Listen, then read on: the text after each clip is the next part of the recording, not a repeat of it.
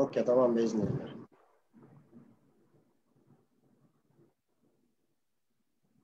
شكرا يا الحبيب وافي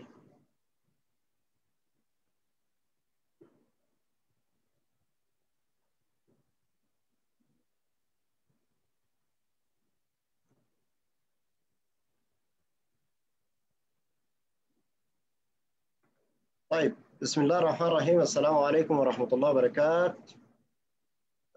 أنا حيدر إبراهيم أحمد بخيت آه، مهندس برمجيات المركز القومي للبحوث السودان آه، مبادرة الباحثين السودانيين. بإذن الله اليوم نتعرف معا لمنصة عريض للناطقين باللغة العربية وإن شاء الله نتعرف كمان معا للخدمات اللي بيقدموا المنصة مع أستاذ ابتسام علي سالم. باحثة في جامعة العلوم الإسلامية الماليزية مرشحة دكتوراه من جامعة سبحة ليبيا. عضو هيئة تدريس جامعة سبحة ليبيا ماجستير في اللغة العربية النحو العربي 2015 محكمة في مجلة علمية دولية محكمة مناظرات دولية ناشرة لعدة أوراق في مجال البحث في مجال التخصص. عضو في اللجنة الاستشارية الموحدة لمنصة عريض باذن الله المحاضرة حتكون براكتيكال وعملي زي ما نبهنا إنه في المجموعة حنكون يعني نشتغل الجزئيات كلها تكون عملية بحيث إنه نحن بنسجل مباشرة في المنصة ونقدر نستفيد من الخدمات. نبدأ إن شاء الله مع الأستاذة. تفضل أستاذة ابتسام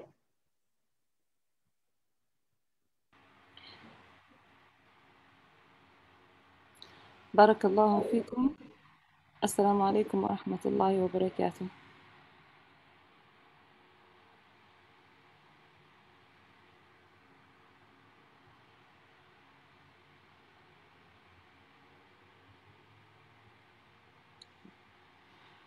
بسم الله الرحمن الرحيم. بسم الله رب الأرباب. مسبب الأسباب. منزل الكتاب.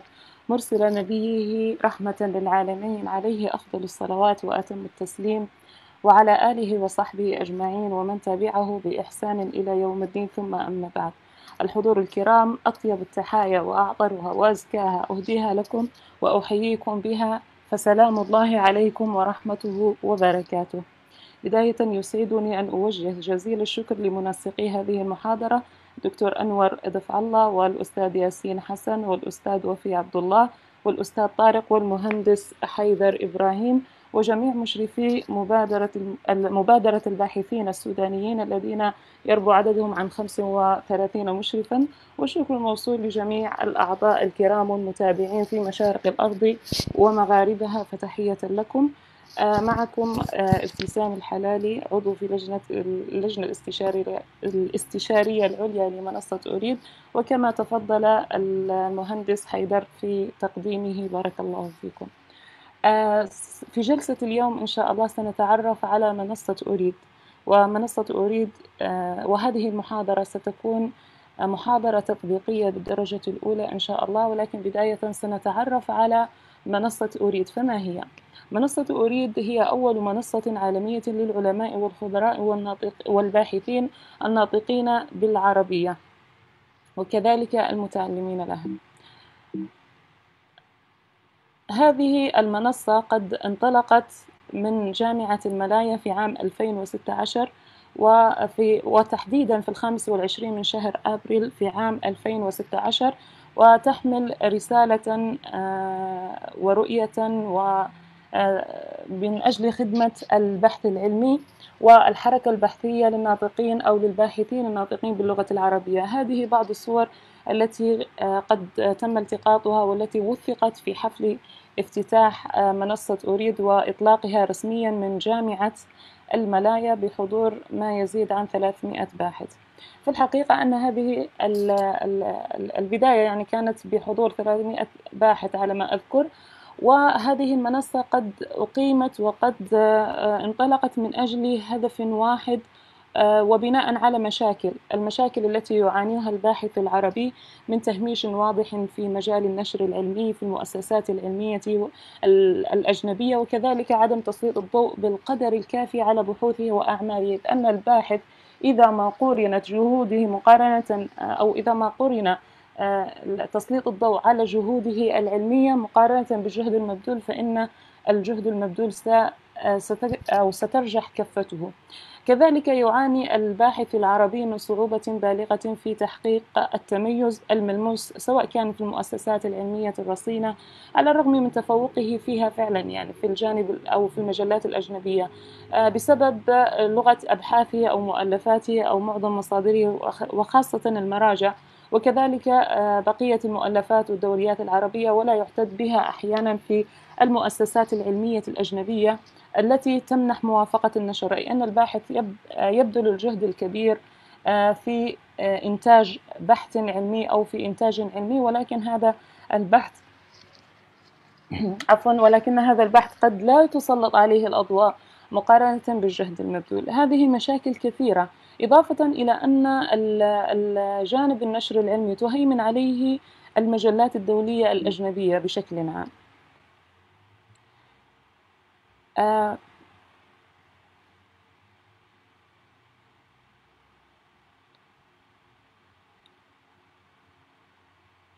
عفوا إضافة من مجموعة المشاكل التي يواجهها الباحث هو عدم وجود تصنيف للباحثين. أنا أتحدث في هذا المقام عن الباحثين المستخدمين للغة العربية ولحرف الضاد. إذ لا يوجد ما يسمى بمعامل التأثير للباحث العربي أو ما يسمى ب H index لقياس جهده وكذلك ما يقوم به من أبحاث وأعمال وإنتاج علمي. آه هذه جملة من المشاكل إضافة إلى عدم وجود منصة عربية في العالم العربي توفر آه معرفا رقميا يجمع جميع جهود الباحث في مساق معين وفي آه فضاء معين أو في فضاء واحد. إذ أن أعماله تكون بين أو تكون موزعة بين هنا وهناك في فضاء الإنترنت. إضافة إلى أن الباحث العربي يعاني صعوبة في التواصل العلمي مع العلماء والخبراء والمتخصصين في كافة المجالات وكذلك في مجال تخصصه وذلك لعدم وجود مجتمع علمي خاص بالباحثين الناطقين بالعربية. إضافة إلى ما يواجهه الباحث من صعوبة في النشر في المجلات العالمية ذات التصنيف العالي سواء أو ما يضاهيها أو ما يوازيها في المجلات الأجنبية ما يسمى بالمجلات المصنفة سواء كان تصنيف المعروف إما ISI أو Scopus أو هذه المسميات التي التي تميز جهود الباحث إضافة إلى عدم إحاطة الباحث العربي بأصول النشر الأكاديمي وعدم وجود التدريب الكافي لفهم الأدوات الحديثة والمفاهيم المعتمدة في معايير النشر العلمي. حقيقة جملة هذه المشاكل قد دفعت بالمؤسس دكتور سيف السويدي أو دفعت بالدكتور سيف السويدي جزاه الله خيرا إلى إطلاق هذه المنصة والبحث فيها.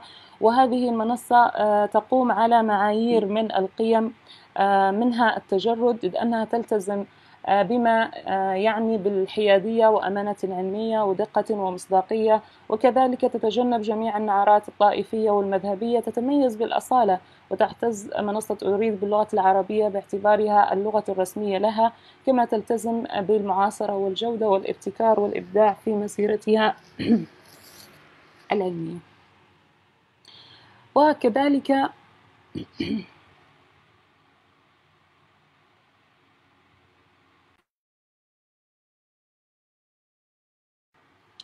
عفوا وكذلك من معاييرها أو من قيمها التكامل إذ تعد منصة أريد التعاون والتكامل في الأدوار بين بين الكيانات والطاقات العلمية ومن أهم هذه القيم وهذه من أهم القيم الداعمة لمسيرة الحركة العلمية إذ أن البحث العلمي في حاجة إلى الجماعة ولا يقوم على جهد فردي.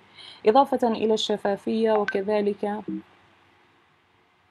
مجموعة ورؤيتها هي أنها منارة علمية للناطقين بالعربية ورسالتها توفير مجتمع متكامل الخدمات للعلماء والخبراء الناطقين بالعربية. شعار منصة أريد للناطقين بالعربية ننهض بعلمائنا. الهدف العام للمنصة هو جمع الباحثين الناطقين بالعربية في دائرة علمية واحدة وكذلك ما يميزها هو إسناد رقم تعريفي لكل باحث مع عمل أو نظام تصنيف لكل باحث ومؤسسة أكاديمية على غرار التصنيفات الأجنبية سواء كانت أو التصنيفات العالمية المعروفة. سواء كانت آه، مثلا أوركيد أو آه، أكاديمية أو ريسيرش جيت هذه البوابات الإلكترونية. طيب هذا هو الهدف الأساس من منصة أريد وسأعود إلى أو سأشارككم الآن الجانب التطبيقي لمنصة أريد إذ أنها كما ذكرت لكم سابقا أن هذه المنصة آه، لا بد من تسجيل عضوية فيها حتى يتمكن الباحث من الاستفادة من خدماتها. هذه المنصة تقدم مجموعة من الخدمات التي آه، تسعى إلى خدمة الحركة العلمية للناطقين باللغة العربية. للاستفادة من خدماتها لابد أن يكون للباحث آه، عضوية في هذه المنصة. فحضورنا الكرام كما هو ظاهر الآن سننتقل إلى الجانب الثاني وهو الجانب التطبيقي لنتعرف على زوايا هذه المنصة وما هي الخدمات التي تقدمها.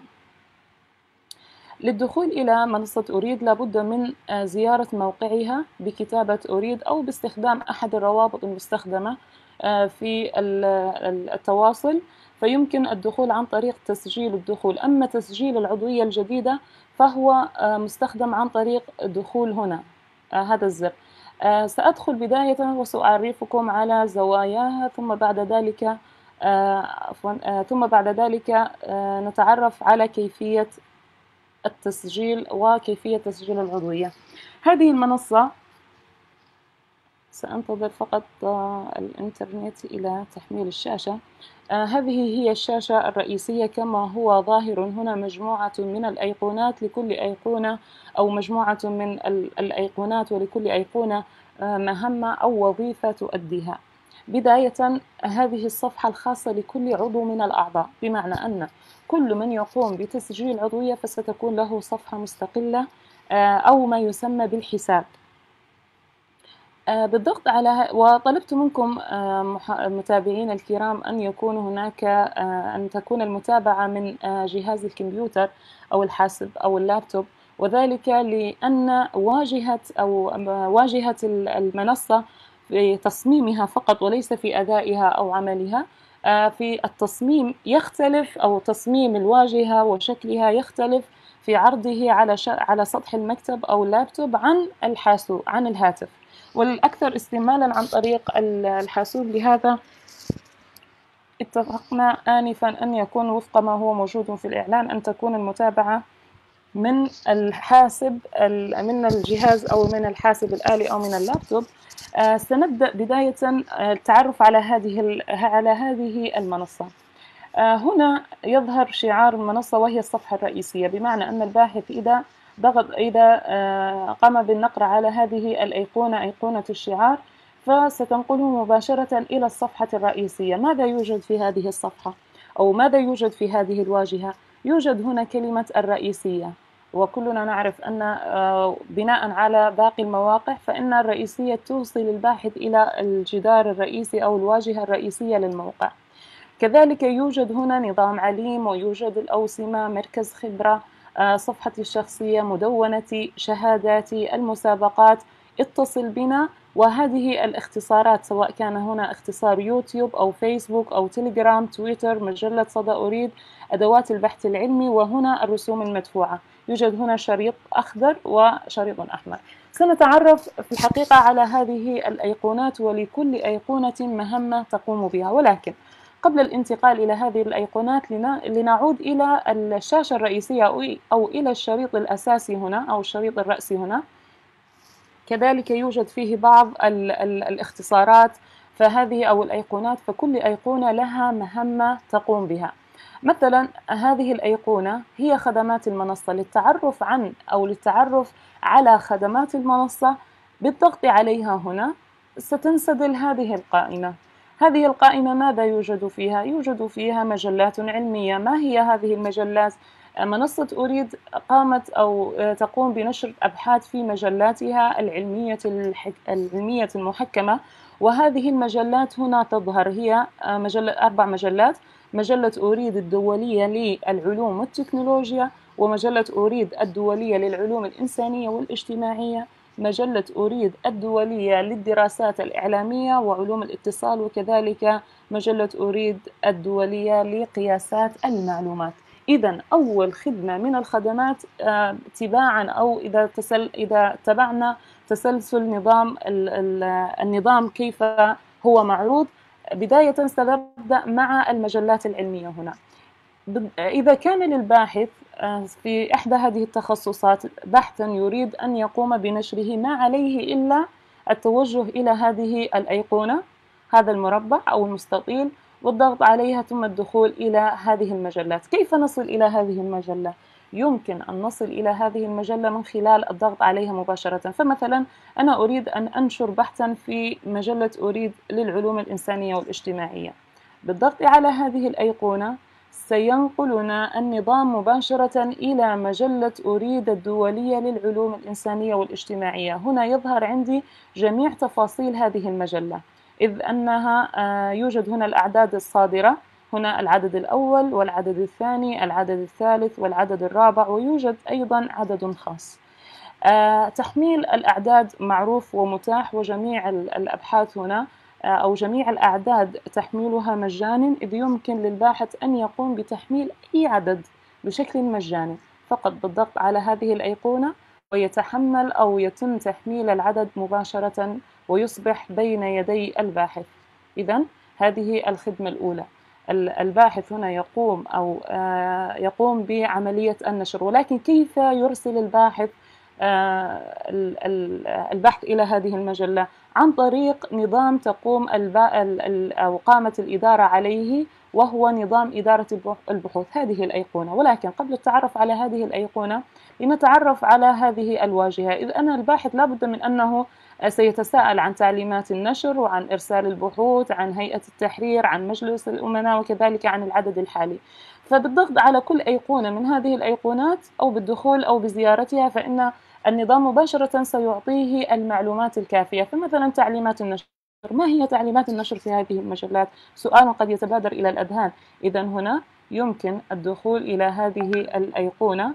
ثم بعد ذلك تنسدل هذه القائمة آه، موضحة ومبينة وكاشفة عن جميع المعلومات. إضافة إلى وجود شرح تعريفي. هنا شرح مرئي مسجل.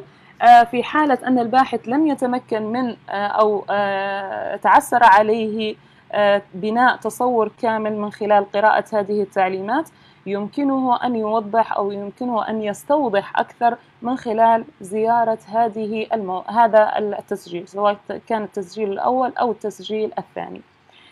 آه طيب بالعودة إلى الخلف آه سنقو... سنجد هنا إرسال البحوث وسأرجيها لاحقا. آه يمكن أن أتعرف على هيئة التحرير. من هم أو من هي هيئة التحرير القائمة على هذه المجلة؟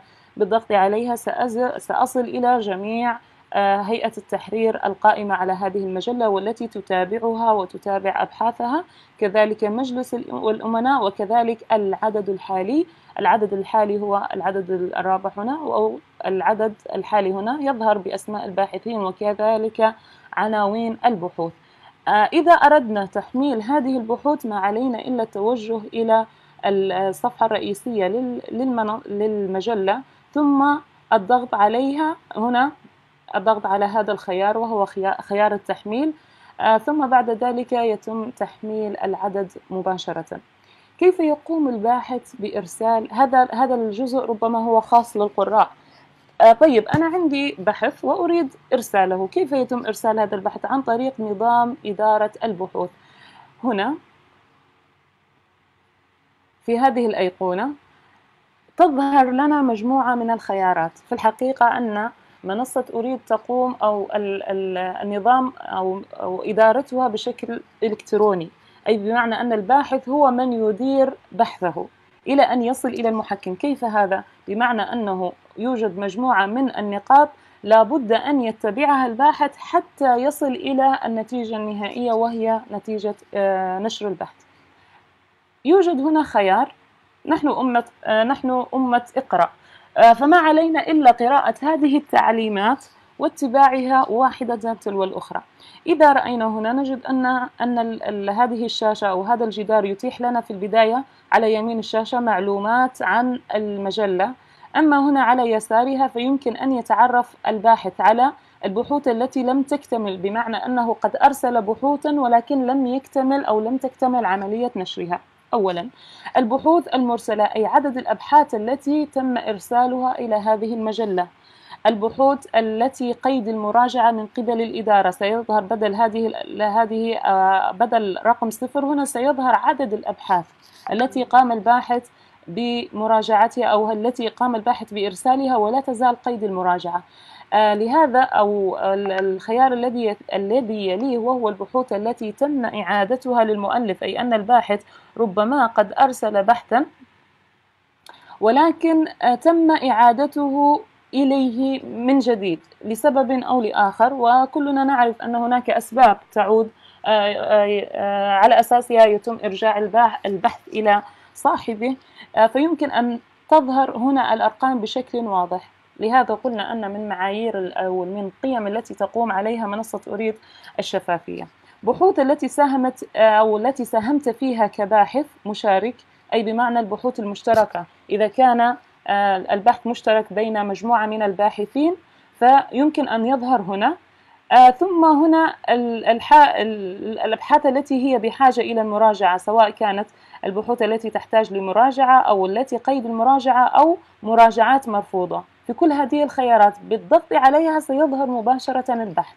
أنا أنا حتى الآن لا يوجد عندي هذه الأنواع من البحوث ولكن آه، بالتعامل مع هذه المجلة آه، بإرسال الأبحاث ستظهر جميع هذه التعليقات. قرارات هنا قرارات ماذا؟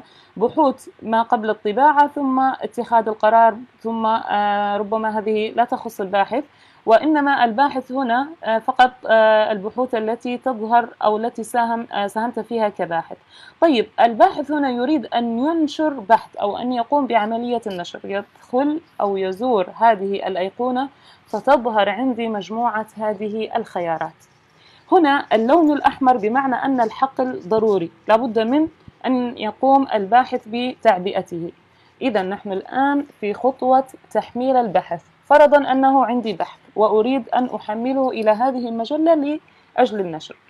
آه، ستظهر عندي هذه الحقول الخمسة أو الحقول الستة هذه. ويوجد هنا السهم الصغير. هذا دليل على أننا نحن الآن في هذه الخطوة. هذه الخطوة تفتح لي هذه الحقول.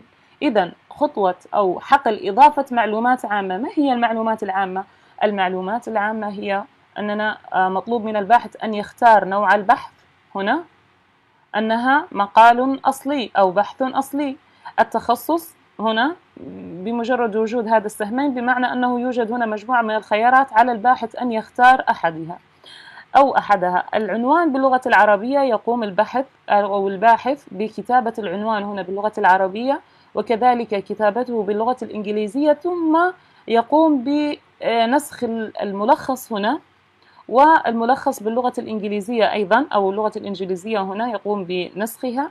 آه، يضيف الكلمات المفتاحية باللغة العربية يضيف الكلمات المفتاحية باللغة الإنجليزية ومجال البحث الدقيق أي بمعنى إذا كان لغة عربية فما مجاله؟ هل هو فقه اللغة؟ هل هو نحو؟ هل هو صرف؟ هل هو آه، أدب؟ هل هو بلاغة؟ إذا يقوم بكتابة التخصص الدقيق أو المجال الدقيق. العدد هنا العدد يظهر تلقائيا ثم تفاصيل تمويل البحوث. إذا ما كان هذا البحث مثلا آه، قد تحصل صاحبه على ما يسمى بالتمويل أو آه، باللغة الإنجليزية grant ف آه، أو fund فيمكن أن يكتب الباحث أن هذا البحث قد تحصل عليه أو تحصل الباحث في على هذا البحث على قيمة مالية هي كذا وكذا ترسل إلى رئيس التحرير. ثم بعد ذلك يختار كلمة إضافة.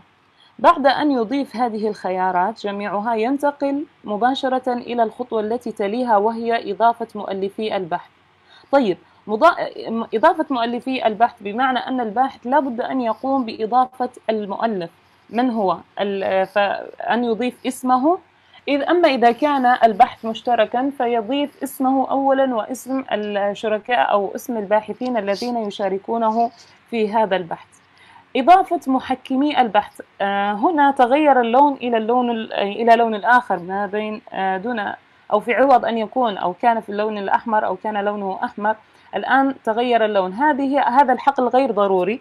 يمكن للباحث أن يتجاوزه يمكن أن يملأه. إدارة محكمي الباحث. ربما الباحث يقوم بترشيح باحث أو ربما يقوم بترشيح محكم. هذا المحكم بأن يختار تخصصه. هنا من باب الترشيح فقط. هذا لا يعني بأن الباحث الذي يرشح هذا المحكم هو من سيحكم البحث. لا هو من باب الترشيح فقط.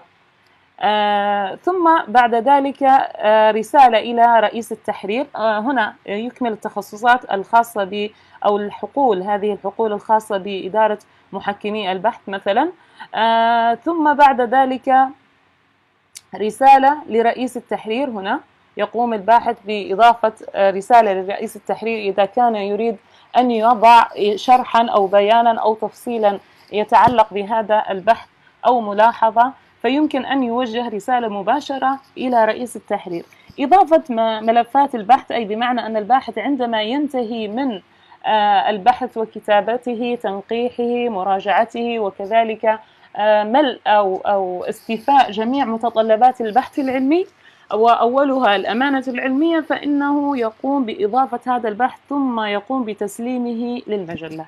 بعد إرساله للمجلة سينقل مباشرة أو سيتحول البحث مباشرة وسيرسل إلى الجهة الجهة المحكمة أو إلى رئيس التحرير ثم بعد ذلك آه، يبدأ البحث في دورته التحكيمية. ثم بعد ذلك تصل الملاحظات للباحث ويعيد في حال أنه آه، طلبت منه تعديلات مثلا فإنه يقوم بإجراء نفس الخطوات هذه ثم بعد ذلك يقوم بعملية التسليم. إذا الملاحظات يستلمها الباحث على جدار هذه ال ال ال آه، على جدار المجلة أو على جدار التحكم أو إدارة البحوث. إذا هنا يقوم الباحث بإرسال البحث. فإذا أتم هذه التفاصيل وتمت آه، إدارة البحث بشكل ناجح بأن قدم بحثه ثم بعد ذلك تم تحكيمه ثم بعد ذلك أو تم تحكيمه ثم بعد ذلك مثلا طلبت تعديلات آه، ثم قام الباحث بهذه التعديلات حالها حال الأبحاث أو حالها حال ما يطلب من الباحث عند نشر الأبحاث العلمية. ثم بعد ذلك يقوم أخيرا بتسليم البحث لتظهر النتيجة هنا. أين ستظهر النتيجة؟ ستظهر النتيجة هنا. لنذهب إلى مجلة أريد العلوم الاجتماعية مثلا باعتبار أنني اخترت هذه المجلة. فسيظهر البحث بعد إصدار العدد سيظهر في هذا العدد أو في العدد الذي يليه فلنفرض أنه العدد الخامس. ليس العدد الخاص وإنما العدد الخامس. إذا هذه هي إدارة البحوث. هذه الخدمة الأولى. الخدمة الأولى هي مجلات علمية. إذا المجلات العلمية هذه مجلات علمية محكمة. وكذا الحال ينطبق على مجلة أريد الدولية للعلوم والتكنولوجيا وكذلك الدراسات الإعلامية ومجلة القياسات والمعلومات. إذا الحال ينطبق في هذا أو ينطبق عفوا الحال ينطبق على هذه المجلات فيما آه، قدمنا آنفا. طيب آه، ثم بعد ذلك هنا يوجد المدونة العلمية. هذا اختصار. وكذلك إذا عدنا للصفحة الرئيسية يوجد هنا اختصار. وكذلك يوجد نفسها هنا مدونتي هذه. هذا الاختصار وهذا هو ذاته المدونة العلمية. بالضغط على هذا على هذا الخيار أو على هذه الأيقونة سينتقل الباحث أو سينتقل عفوا النظام إلى هذه الشاشة ويقوم بإضافة مدونته. فيصف هذه المدونة. ما هي المدونة؟ هذا آه هذه هي المدونات التي تظهر على جدار الشاشة. بمعنى أن الباحث عندما يقوم بكتابة مدونة فإنها ستظهر مباشرة في الصفحة الرئيسية فيتم إضافتها تلقائيا ما أن يقوم الباحث بموافقة النشر عليها أو فيما أن يقوم الباحث بالموافقة على نشرها في جدار المنصة ما شرط هذه المدونات؟ شرط هذه المدونات أن آه، آه، شرطها شرط ما ينتق ما. آه، ما يتم إسقاطه على البحوث العلمية وهي الأمانة العلمية لأنها لأن هذه المدونات قد تكون مدونة علمية قد تكون مدونة فكرية قد تكون مدونة شخصية ولكن ما يكتب في هذه المدونات لا بد أن يتحرى فيه الباحث أمانة الأمانة العلمية. فإذا ما كان منقولا من موقع من, من أحد المواقع مثلا لا بد أن يشار إلى هذا الموقع. إذا المدونة هنا سأعود إليها المدونة العلمية أو مدونتي. آه، يقوم الباحث هنا بإنشاء المدونة. بإضافة في البداية بمسمية باسمه ثم بعد ذلك إضافة موضوع. فإذا ما أراد إضافة موضوع ما عليه إلا الضغط على هذا. هنا على هذا الخيار ثم بعد ذلك تظهر عندي مجموعة الشروط. إذا يوجد شروط هنا لابد أن يتقيد بها الباحث.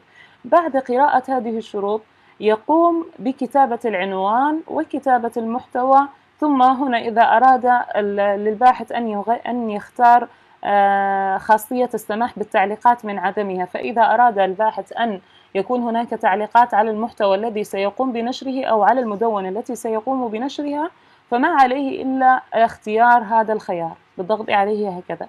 ثم الكلمات المفتاحية ثم بعد ذلك الموافقة بطلب النشر في مدونة منصة أريد آه، بالضغط على كلمة إضافة ستنقل المدونة مباشرة ما أن وافقنا عليها. نحن ك يعني أنا كصاحبة المدونة ستظهر مباشرة هنا في جدار المنصة.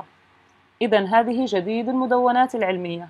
قد يتساءل البعض هل جميع ما ينشر يتم أو جميع ما يكتب في هذه المدونات يتم نشره نعم يتم نشره وكذلك يوجد الأستاذ الدكتور الأستاذ المشارك الدكتور ياسر درشاني هو المسؤول على هذه الكتابات أو ما يسمى بالنشر الإلكتروني تتم مراجعتها ويتم آه، تحري وقبل أن يتم مراجعتها في الحقيقة الباحث هو المسؤول الأول والأخير آه، أمام ما يكتب. فلا بد أن يتحرى المصداقية وأن يتحرى الأمانة العلمية بداية.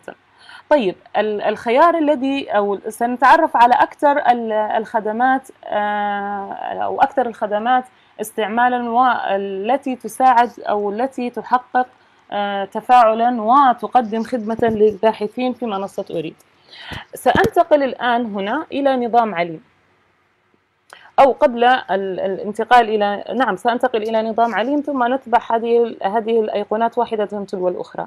نظام عليم ما هو؟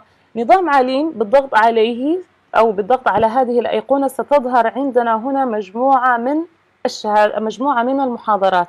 هذه العناوين جلها. تم تقديمها آه، في منصة أريد آه، تم تقديم جميع هذه المحاضرات. مثلا آه، الخبرة الماليزية في الاهتمام بعلم التخريج صناعة القدوة العلمية في ضوء نظريات التأثير الجماهيري منصات التواصل العلمي. جميع هذه العناوين هي محاضرات تم تقديمها في منصة أريد ومنصة أريد تتيح الشهادات آه، على هذه أو هناك شهادات يتم تصديرها مباشرة عقب انتهاء كل محاضرة. آه، الحضور لهذه عفوا حضور هذه المحاضرات هو حضور مجاني. يمكن للباحث أن آه، يستفيد أو يمكن أن للباحث أن يعود إلى هذه المحاضرات من أين؟ مثلا المسجلين العضد عفوا الأعضاء المسجلين الجدد. آه، كيف يمكن أن يصلوا إلى هذه المحاضرات؟ أنا وجدت هنا مسميات فقط. إذا ضغطت على هذا أو إذا اخترت هذا الخيار ماذا سيظهر عندي؟ سيظهر عندي تفصيل فقط. إذا أين المحاضرة؟ المحاضرات هنا. يجد الباحث محاضرات نظام عليم جميعها يجدها هنا في آه، قناة اليوتيوب. بالضغط عليها هكذا. سينقلنا النظام مباشرة إلى جميع المحاضرات بالضغط على قائمة مثلا الفيديوهات أو قوائم التشغيل. لنختار مثلا هنا قوائم التشغيل. فستظهر هنا جميع المحاضرات التي تم تقديمها في المنصة. إذا جميع هذه المحاضرات آه، كلها كل المحاضرات مدة ساعتين. إضافة إلى فعاليات المحفل وحلقات ما لا يسع الباحث جهله. آه، جميع المحاضرات تم تحميلها على جدار هذه القناة. إذا آه، قناة Arab Research ID هنا علامتها أو يمكن الوصول إليها من خلال من خلال هذا الاختصار. إذا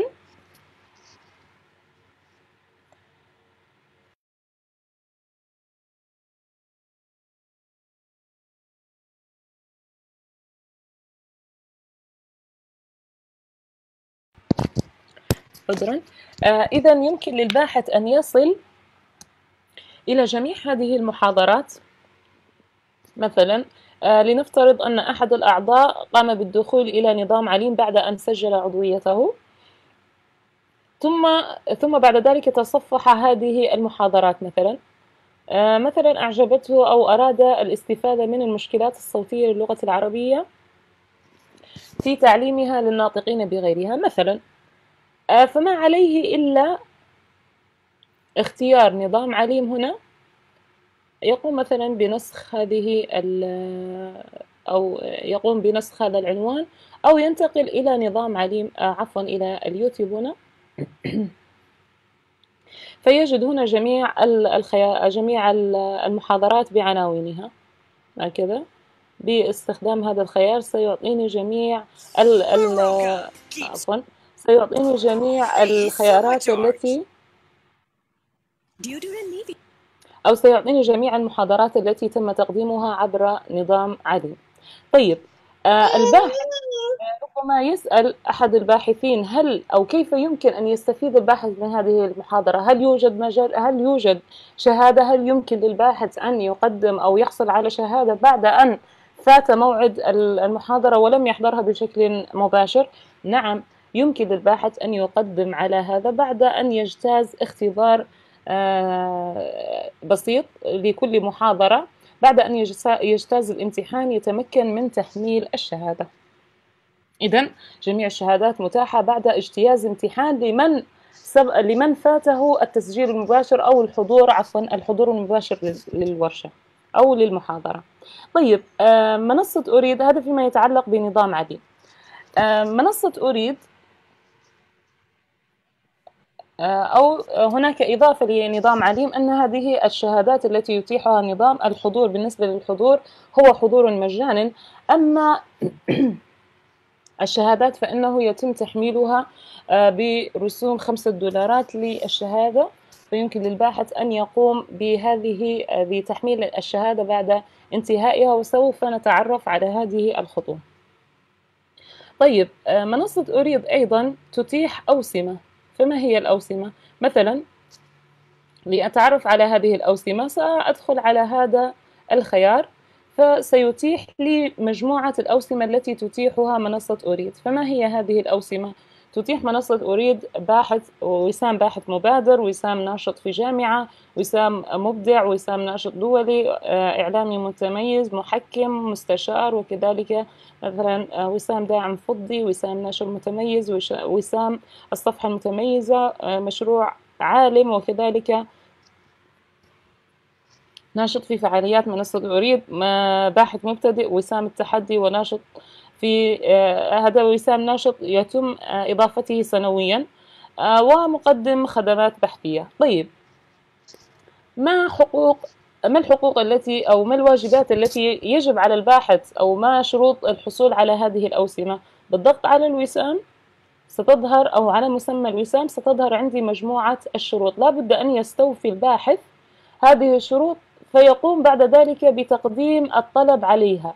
و أو تقديم الطلب حتى يظهر هذا الشعار أو هذا الوسام على جدار أو على شاشة ال ال على الصفحة الرئيسية للباحث. مثلا هنا سأختار هذه الخاصية خاصية حسابي كما يراه الآخرون مثلا. هنا فقط للمثال. فتظهر هنا جميع الأوسمة التي تحصل عليها الباحث. بمجرد بعد أن يقوم الباحث مثلا باستحقاق أو بتقديم أو استيفاء ما ما يجب آه، إيفاء أو ما يجب استيفائه من آه، من أجل الحصول على هذه الأوسمة فإنه يتم منح الوسام مباشرة للباحث. الوسام المشترك أو آه، نعم الوسام المشترك بين جميع الباحثين في هذه المنصة هو وسام باحث مبادر. ولكن ليحصل الباحث على وسام باحث مبادر وحتى يظهر هذا الوسام على صفحته الشخصية لابد من أن يستوفي هذه المتطلبات. هو كتابة الاسم باللغة العربية والإنجليزية ويقوم بتحميل الصورة الشخصية. وكذلك لابد أن يكتب مراحل الدراسية مرحلتين على الأقل.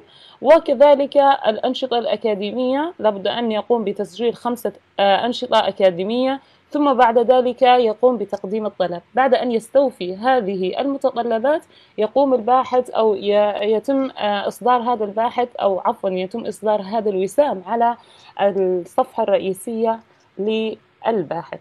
طيب. سأعود إلى الأوسمة. بالتعرف أو بالدخول وزيارة هذه الأوسمة ستظهر جميع التفاصيل وكذلك متطلبات استيفاء أو متطلبات الحصول عليها. فمثلا عندنا هنا مثلا وسام باحث مبدع مثلا من يقدم فكرة إبداعية من شأنها أن تحقق إثراء وتحقق خدمة وتضيف شيء جديد للمنصة وكذلك للباحثين فإن الباحث أو وبعد أن بعد موافقة اللجنة الخاصة بمنح الأوسمة بعد موافقتها مثلا على هذا على هذه الفكرة أنها فكرة إبداعية فإنه يتم إضافة هذا الوسام إلى إلى الصفحة الرئيسية للباحث. طيب آه، يمكن التعرف على جميع هذه الأوسمة بالدخول على كل واحد منها أو بالضغط على كل واحد منها ثم بعد ذلك تعطينا التفاصيل. آه، مركز خبرة. هذه أيضا آه، أو هذا المركز هو أيضا أحد الخدمات التي تقدمها منصة أريد أو عن طريقه يتم تقديم خدمات آه، بين الباحثين. فمثلا ما هي هذه الفكرة وما فكرة مركز خبرة؟ أن الباحث من لديه مثلا خدمة بحثية يقوم أو يرغب في تنفيذها وتقديمها للباحثين الآخرين فما عليه إلا إنشاء مشروع هنا. ما عليه إلا إضافة مشروع. مثلا أنا أقوم بعملية التدقيق اللغوي مثلا أو تصميم أو ولكن بشرط الأمانة العلمية. لا بد أن أو ما لا يخالف الحقوق أو حقوق البحث العلمي وكذلك أخلاقيات البحث العلمي. ليس من المعقول أن يقدم آه، مثلا أحد الباحثين أو أحد الأعضاء أن يقدم مثلا خدمة كتابة بحوث علمية لغرض الترقية أو آه، هذا غير مقبول أبدا وغير معمول به في المنصة. ولكن من باب التدقيق من باب تحكيم الاستبانات من باب الترجمة تصميم مثلا هنا يوجد مجموعة من الخدمات أو مجموعة من المشاريع وإذا عدنا هنا إلى الصفحة الرئيسية مثلا تعرف على مركز خبرة جميع الباحثين يمكن إضافة هذه الخدمات مثلا. فهنا يوجد جديد مركز خبرة مثلا هنا يوجد خدمة تدقيق لغوي.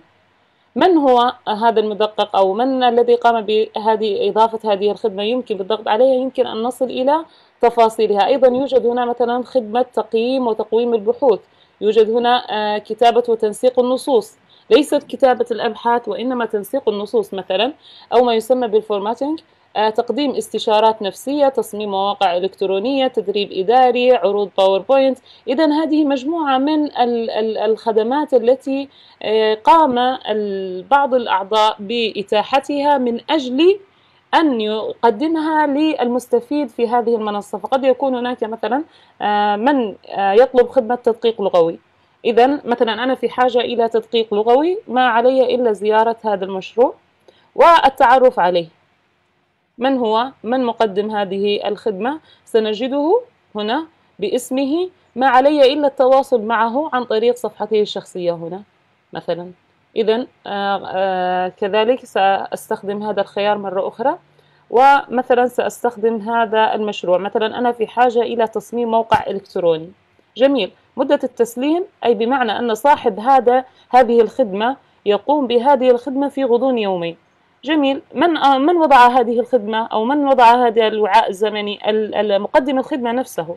إذا بزيارة هذا هذه الصفحة سأجد أنه قام بتصميم مواقع إلكترونية هذا هو الباحث ويمكنني التواصل معه من خلال زيارة صفحته الشخصية بالضغط على هذا الخيار. إذا هنا ظهر صاحب المشروع.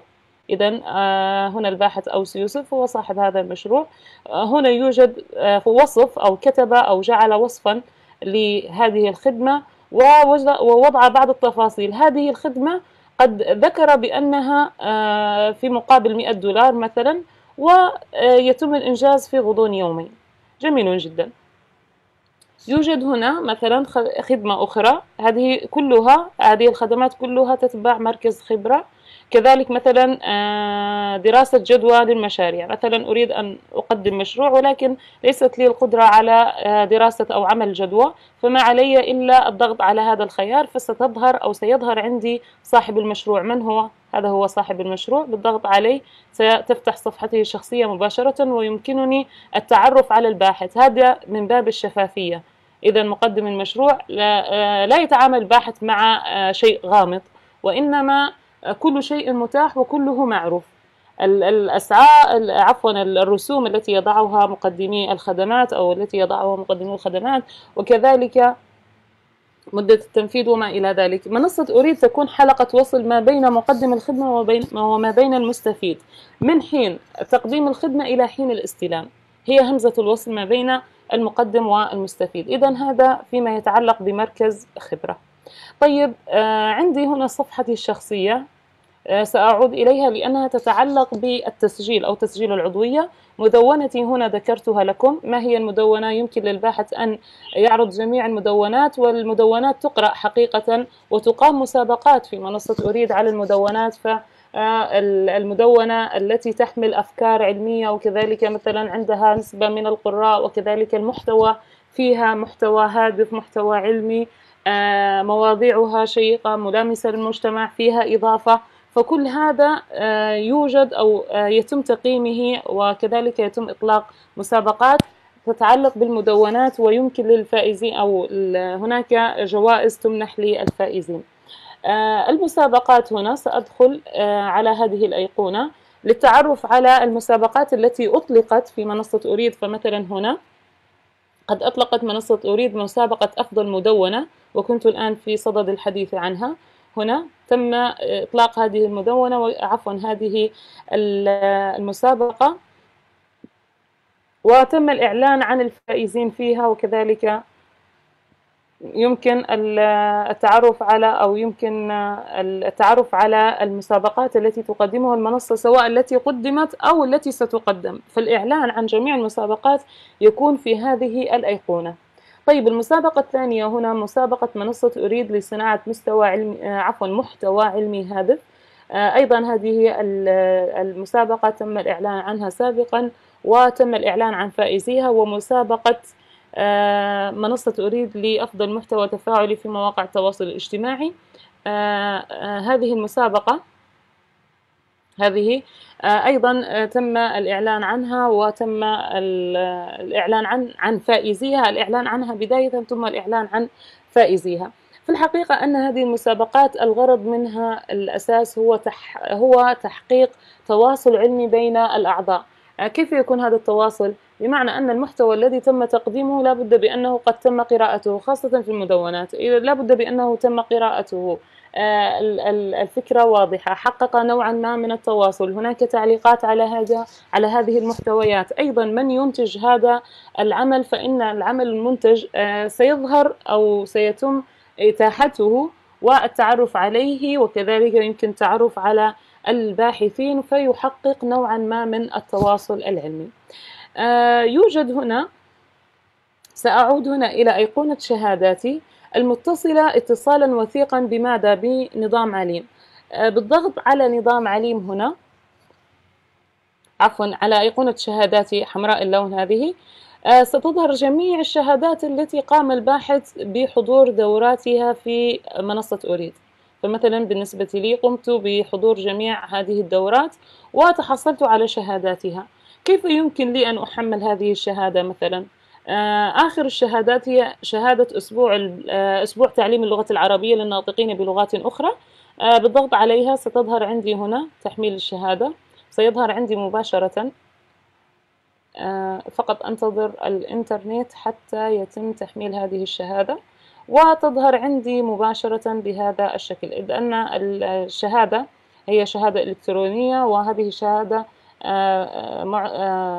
هي معتمدة من جامعة علوم القرآن والجامعة العراقية وجامعة سيئون باليمن ومسمى أسبوع البحث العلمي عفوا أسبوع تعليم اللغة العربية للناطقين بلغات أخرى وتحمل شعار وتوقيع شعار المنصة وكذلك توقيع المؤسس دكتور سيف السويدي. إذا هذه الأيقونة هنا. تحتفظ بجميع بجميع الشهادات. فإذا ما أراد الباحث تحميل إحدى هذه الشهادات ما عليه إلا الضغط عليها ثم تحمل.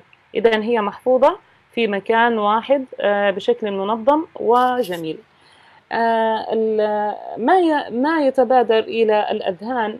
ربما هو الرسوم. فكيف يمكن للباحث كما ذكرت لكم أن هذه الشهادات لا بد للباحث له من أن يكون عنده رصيد في هذه المنصة. فكيف يمكن تحميل الرصيد؟ أو كيف يمكن شحن رصيد لهذه أو في حساب العضو في المنصة؟ ما عليه إلا الضغط على هذه الأيقونة. هنا. هذه الأيقونة هي أيقونة الرصيد. عادة تكون صفرا ولكن أنا قمت بشحن رصيد مثلا هنا ولكن من مثلا أريد أنا إضافة رصيد آخر أو فلنفترض أنه لا, لا يوجد عندي رصيد بالضغط على هذه الأيقونة سيتيح لي أو سيتيح لي النظام هنا مجموعة من الخيارات ما هي؟ أكثرها استعمالا الآن هي آه، طريقة التعبئة عبر البطاقة الائتمانية وكذلك التعبئة عبر البيبال وهي بوابة إلكترونية وكذلك التعبئة عبر شركاء الحوالات. طيب هذه الخيارات الثلاثة سوف نتعرف عليها أو سنتعرف عليها. التعبئة عبر البطاقة الائتمانية لمستخدمي البطاقة الائتمانية أو البطاقات الائتمانية يمكن الضغط على هذا الخيار هنا بعد الدخول إلى الرصيد هنا. ثم التوجه إلى التعبئة عبر البطاقة الائتمانية. ثم بعد ذلك اشحن حسابك هنا أو اشحن أو اشحن حسابكم هنا برصيد آه عفوا. هنا اشحن حسابكم سأقوم فقط أو قمت بتكبير الشاشة آه عبر البطاقة الائتمانية. بالضغط على هذه الأيقونة أقل هذه الرسوم المحولة عن طريق هذه الخدمة هي 25 دولارا. بالضغط عليها ستظهر عندي هذه التفاصيل الإيميل وكذلك card number وبعض هذه الأرقام المطلوب آه، تعبئتها وكذلك آه، الموافقة على الدفع. بعد ذلك يتم شحن الرصيد مباشرة إلى حساب العضو في المنصة. فيتحول الرصيد هنا مباشرة فإن كان صفرا يتحول إلى 25 دولارا. طيب هذه الخدمة الأولى. إذا لم يتسنى للباحث استعمال البطاقة الائتمانية يمكنه استخدام الخيار الثاني أو الطريقة الثانية هي التعبئة عبر PayPal وهي بوابة دفع إلكترونية معروفة بالضغط على debit card أو credit card هنا. ثم تنسدل عندي هذه القائمة وأقوم بتعبئتها إن كنت من مستخدمي هذه البوابة. بعد ذلك الدفع هنا. يقوم الباحث بتحويل القيمة بعد تعبئة البيانات المطلوبة ثم يتم شحن رصيد أو شحن رصيده في حسابه هنا. يتحول فلنقل مثلا أنا قمت بشحن رصيد مثلا 50 دولار باستخدام بيناو فيتحول الرصيد هنا إلى 50 دولارا طيب الطريقة الثالثة إذا لم يتسنى للباحث استخدام البطاقة الائتمانية أو التعبئة عبر بوابة الدفع الإلكترونية بال أو الباي بال فيمكن الاستخدام الطريقة الثالثة وهي وهذه الطرق الثلاثة هي الأكثر استعمالا بين أعضاء المنصة. يمكن أن نلجأ أو آه، نستخدم هذه الطريقة وهي طريقة التعبئة عبر شركاء الحوالات المالية. بالضغط على هذا الخيار. إذا للمنصة شركاء حوالات مالية. نعم. يوجد ولكن آه، للباحثين المتواجدين في ساحة في ماليزيا عفوا آه، لا يوجد وكيل أو شريك مالي في ماليزيا وإنما يتم التحويل مباشرة. فمثلا نحن الآن في صدد المجموعة أو مجموعة مبادرة الباحثين السودانيين مثلا. ننتقل مباشرة إلى السودان هنا. هل يوجد وكيل؟ نعم يوجد وكيل هنا في السودان. هذا؟ يمكن للأعضاء التواصل معه مباشرة هنا. وبالتواصل عبر رقمه أو هنا واتساب يوجد لديه رقمان. رقم هنا واتساب وكذلك للاتصال العادي.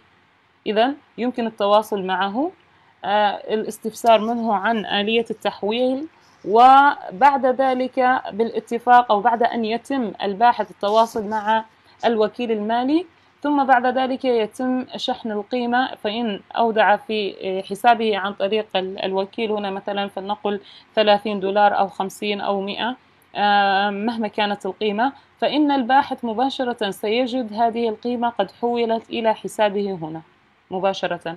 إذا كان الباحث مثلا من العراق يمكن أن يتصل أو يتواصل مع الوكيل المالي في العراق عبر هذا عبر هذا الرقم.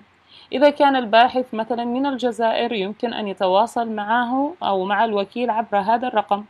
إذا سأعود هنا خطوة مرة أخرى. بالنسبة لشركاء الحوالات المالية في حالة أراد الباحث شحن رصيد ما عليه إلا الضغط على هذا الخيار وهو سأكبر الشاشة هنا هذا عادة يكون صفرا للأعضاء الجدد. فالصفر هذا يمكن بالضغط عليه سيعطيني مباشرة خيارات التحويل.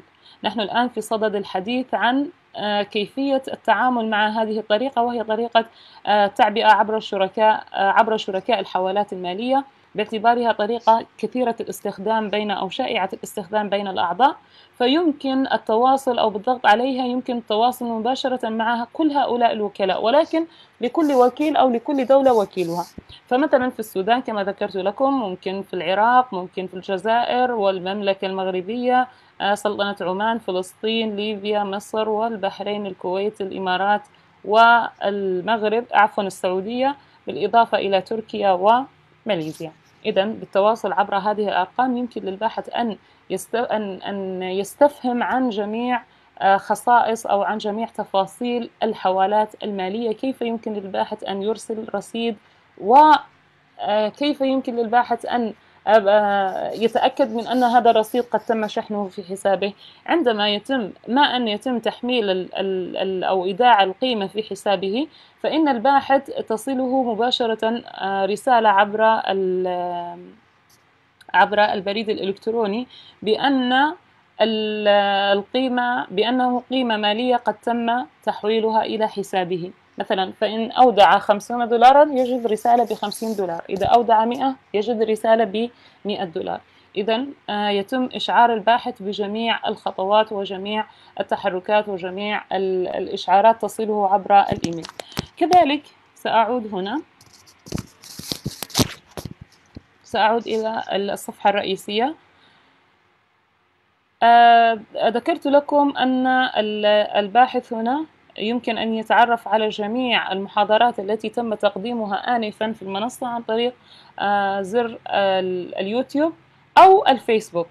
إذا أراد الباحث الوصول إلى صفحة آه، فيسبوك أو صفحة أريد على الفيسبوك فما عليه إلا الضغط على هذا الخيار. وينتقل الموقع مباشرة إلى عفوا. ربما عندي مشكلة هنا. آه، باستخدام هذا الخيار آه، ينتقل مباشرة إلى الصفحة الرئيسية على الفيسبوك. أما التليجرام آه، فهنا يوصى أو وجه جميع الباحثين إلى ضرورة الاشتراك على قناة التليجرام ذلك لأن جميع الروابط وجميع الأنشطة جميع المستجدات وجميع أنشطة منصة أريد وجديدها ومستجدها كله يتم الإعلان عنه في قناة المنصة على التليجرام. آه، لهذا لابد من تحميل هذا التطبيق مثلا على الهاتف الجوال ومتابعة قناة المنصة على التليجرام حتى يصل للباحث كل جديد سواء كان إشعار ب آه، آه، إشعار بمحاضرات أو برامج شهرية مثلا أو استضافات أو حلقات. فكل هذا يتم إشعار الباحث به عن طريق قناة المنصة على التليجرام. آه، منصة أريد أيضا تصدر مجلة آه، هذه مجلة شهرية هي مجلة صدى أريد. بالضغط عليها يمكن أن يتعرف الباحث على هذه المجلة. فقد تم إصدار العدد الأول العدد الثاني والعدد الثالث. هذه المجلة ليست مجلة علمية محكمة. وإنما هي مجلة شهرية ثقافية عامة برعاية منصة أريد آه، للتعرف عليها مثلا سأدخل إلى أو سأقوم بتحميل العدد الثالث مثلا. آه هذا هو العدد الثالث. هنا. مثلا.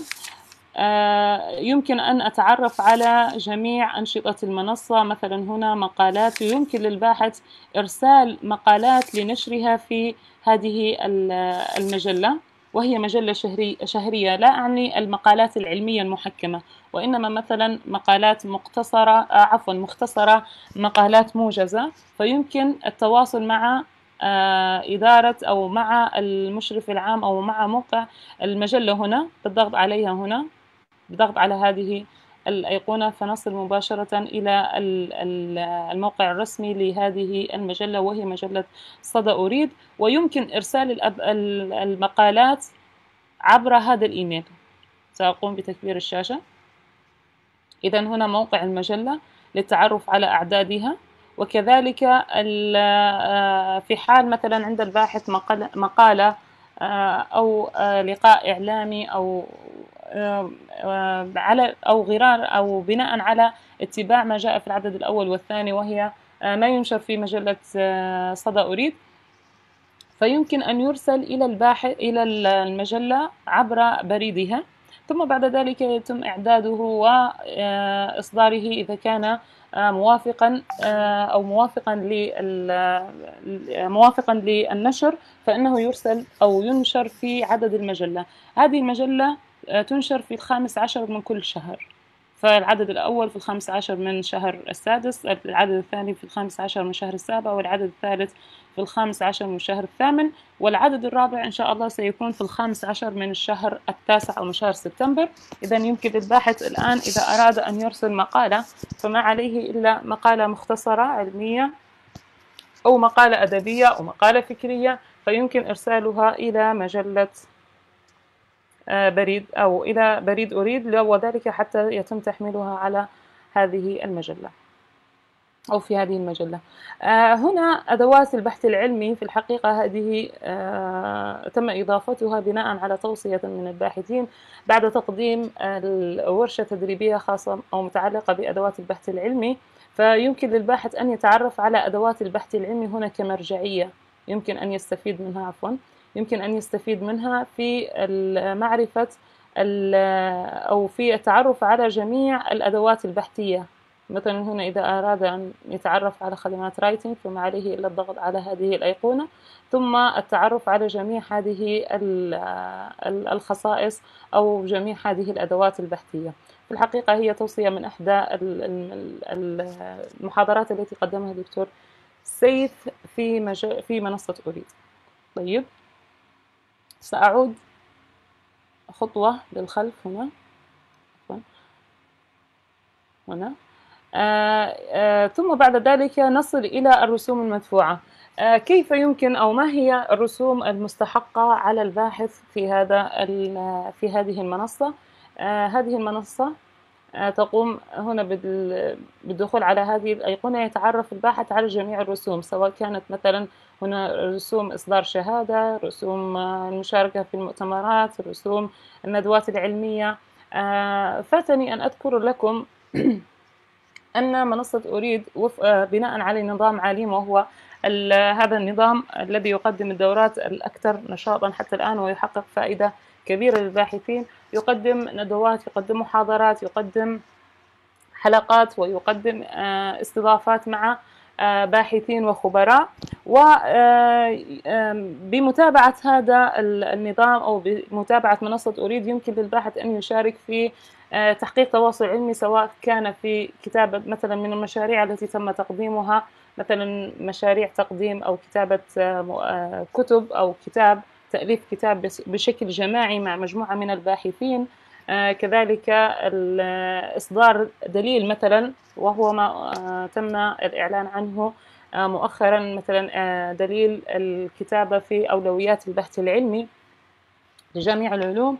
فيمكن الاستفادة من متابعة قناة تليجرام للاطلاع على جميع مستجدات هذه المنصة أو أنشطتها. في الحقيقة هذا يحقق نوعا من التواصل العلمي بالاطلاع على جديد الأبحاث وكذلك التعرف على الباحثين تكوين مجموعات بحثية وكذلك كل هذا يصل بالارتقاء أو يرتقي بالباحث الناطق باللغة العربية. طيب آه آه هذا الخيار الآن تعرفنا على جميع هذه اللوحات أو هذه الأيقونات. سأنتقل الآن إلى المحفل العلمي هذا الخيار هنا. ينقلنا إلى المحفل العلمي هذا الاختصار. بالضغط على من أراد أن يشارك في فعاليات المحفل العلمي وهو مجموعة من المؤتمرات التي تنسق أو التي تنظمها منصة أريد بالضغط عليها هنا يقوم الباحث أو يصل الباحث مباشرة إلى فعاليات المحفل العلمي الدولي السابع الذي سيعقد في شهر نوفمبر إن شاء الله. يمكن للباحث أن يقدم أبحاثه أو مشاركاته البحثية عبر المؤتمرات المتاحة مثلا المؤتمر الدولي الخامس للمخطوطات المؤتمر السابع للاتجاهات الحديثة المؤتمر الدولي السابع للاتجاهات المتقدمة الدراسات الإسلامية. فيمكن للباحث أن يطلع على مجموعة هذه المؤتمرات. يعني حتى الآن آه، يوجد آه، ست مؤتمرات سبعة ثمان مؤتمرات هنا متاحة. للمشاركة في المحفل العلمي الدولي السادس السابع عفوا. إذا المحفل يضم مجموعة من المؤتمرات المتخصصة. يمكن للباحث أن يتعرف على هذه المؤتمرات من خلال زيارة بوابة المؤتمر. مثلا بالضغط على بوابة مؤتمر المخطوطات سينقلني النظام مباشرة إلى تفاصيل هذا المؤتمر. فيمكن أن أطلع عليه. وأما إرسال الأبحاث فإنه يتم مباشرة من خلال هنا رفع الملخص. هذه الأيقونة. تسجيل. في البداية لابد أن نسجل لابد أن نعرف ما هي ضوابط المشاركة الملف التفصيلي الخاص بالمؤتمر ورسوم المشاركة ورفع الملخص آه، وإدعم المحفل. من أراد أن يدعم المحفل بقيمة مالية. ثم بعد ذلك سأعود هنا إلى سأعود هنا إلى الصفحة الرئيسية. فهذه الصفحة كما ذكرت لكم بأنها تقدم آه، جميع أو هي مختصر لجميع الخدمات التي تقدمها منصة أريد. مثلا آه، أعلنت الآن منصة أريد عن إطلاق قاعدة البيانات موسوعة الكفاءات العلمية إسوة بموسوعة العلماء التي تم إطلاقها في العام الماضي. فمن أراد أن يقدم على هذه الموسوعة بعد تحقيق الشروط ما عليه إلا الضغط على هذه الأيقونة. ثم بعد ذلك تنقله مباشرة إلى متطلبات هذه أو متطلبات الحصول على عفوا متطلبات إدراج الاسم أو إدراج اسم الباحث ضمن هذه الموسوعة. هذه الموسوعة من شأنها أنها تجمع آه، الكفاءات العلمية وفق دليل واحد أو في آه، كتاب واحد أو ما يسمى بالموسوعة. وذلك حد آه، لتحقيق نوع ما من التواصل. فمثلا هذه الموسوعة ستحقق آه، جمعا لمجموعة من الباحثين تعرف هذه الموسوعة عن أسمائهم تخصصاتهم أنشطتهم اهتماماتهم وكذلك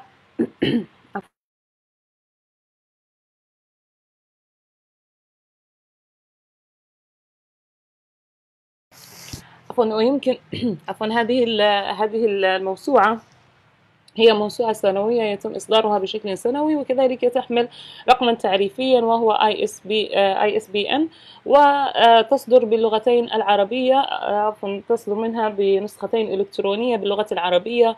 وكما هو ظاهر هنا ما هي أهداف هذه الموسوعة؟ هو التعريف بالقامات العلمية.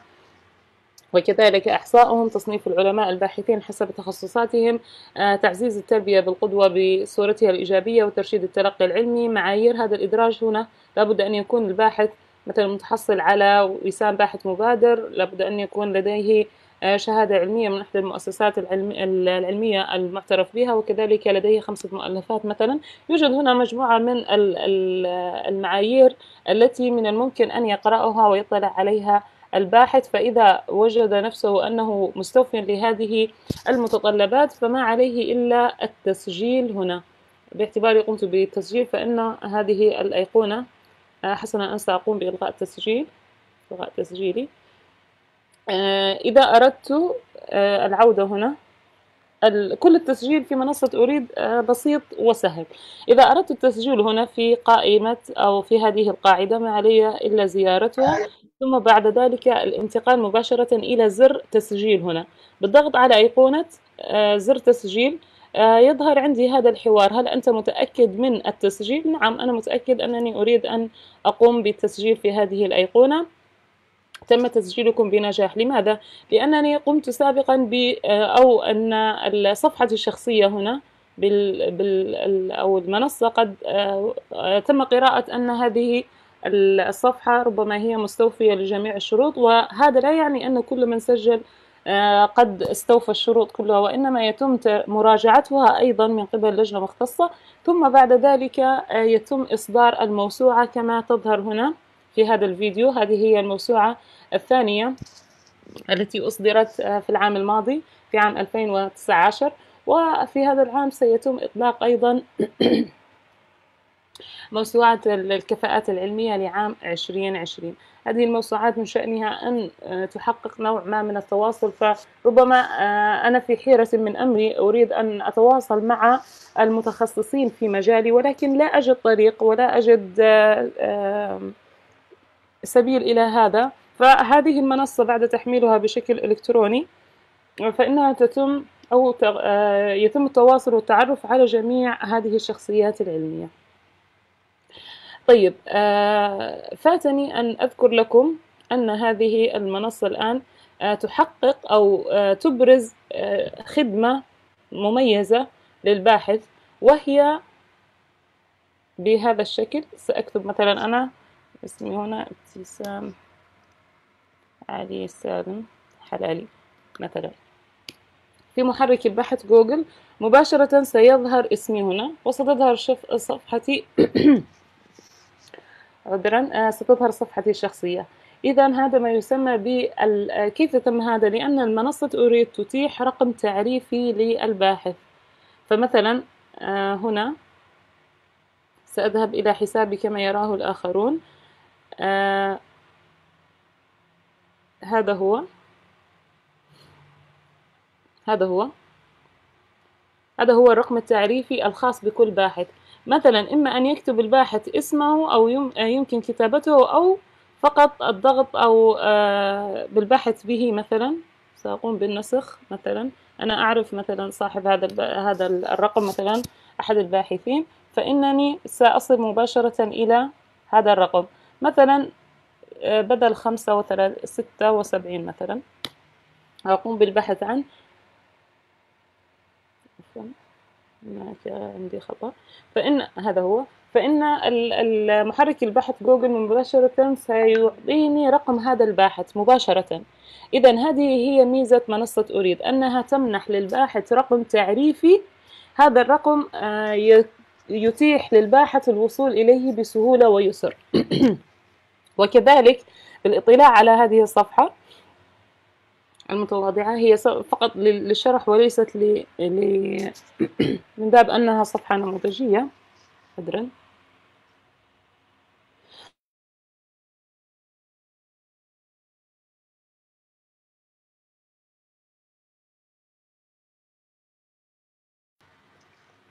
فإن الباحث هنا يمكن أن نتعرف على الباحث من خلال مثلا مؤهلاته العلمية والأكاديمية مثلا المناصب العلمية التي ترأسها الخبرة التدريسية التي عنده وكذلك النشر العلمي النشاطات الأكاديمية وجميع متعلقات الباحث هنا موجودة بشكل واضح. إذا يمكنني أن أتعرف على هذا الباحث بكل عفوا بكل سهولة ويسر. وكذلك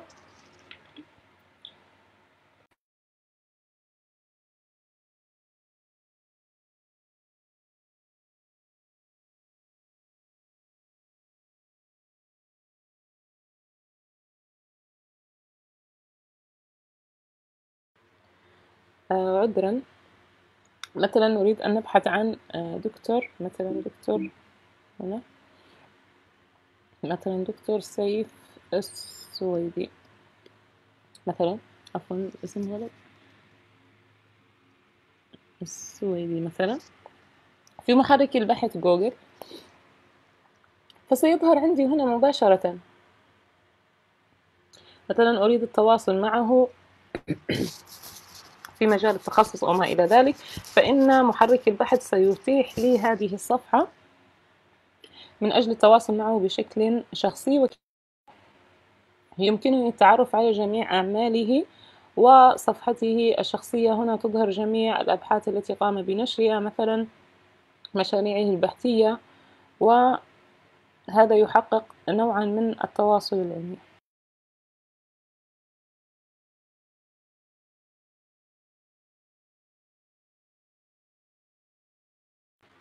آه، عذرا منكم.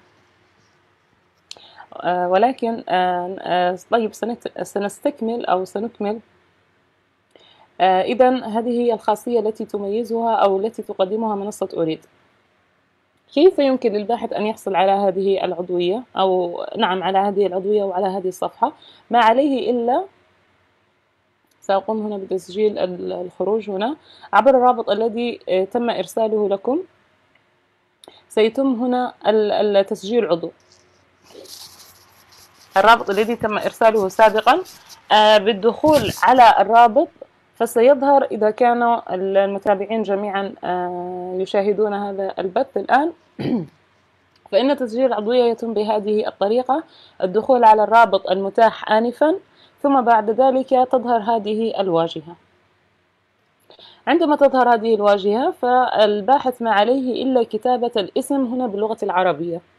فإذا كتبنا أسماءنا هنا سنعيد كتابة الاسم باللغة الإنجليزية ولكن كتابة الاسم باللغة العربية هنا لابد أن يكون الاسم الذي يريد الباحث أن تصدر شهادته به.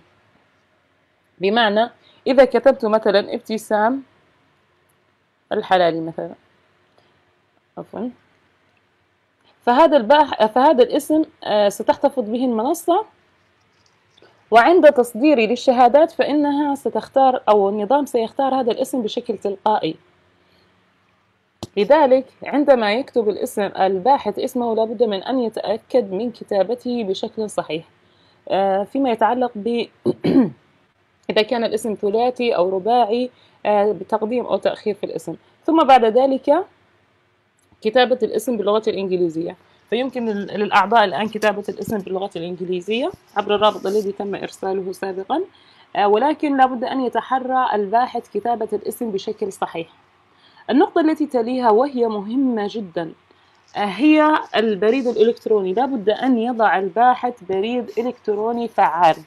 بمعنى لا يضع باحث آه، لا يضع الباحث مثلا بريد إلكتروني مهمل عنده بمعنى أنه ليس كثير الاستعمال.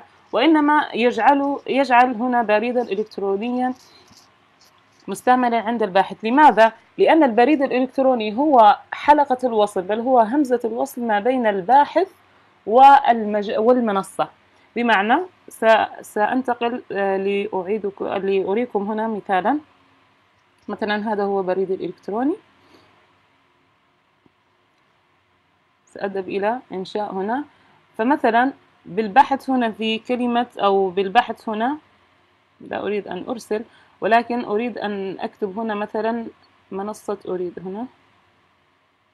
أريد. هذا هو.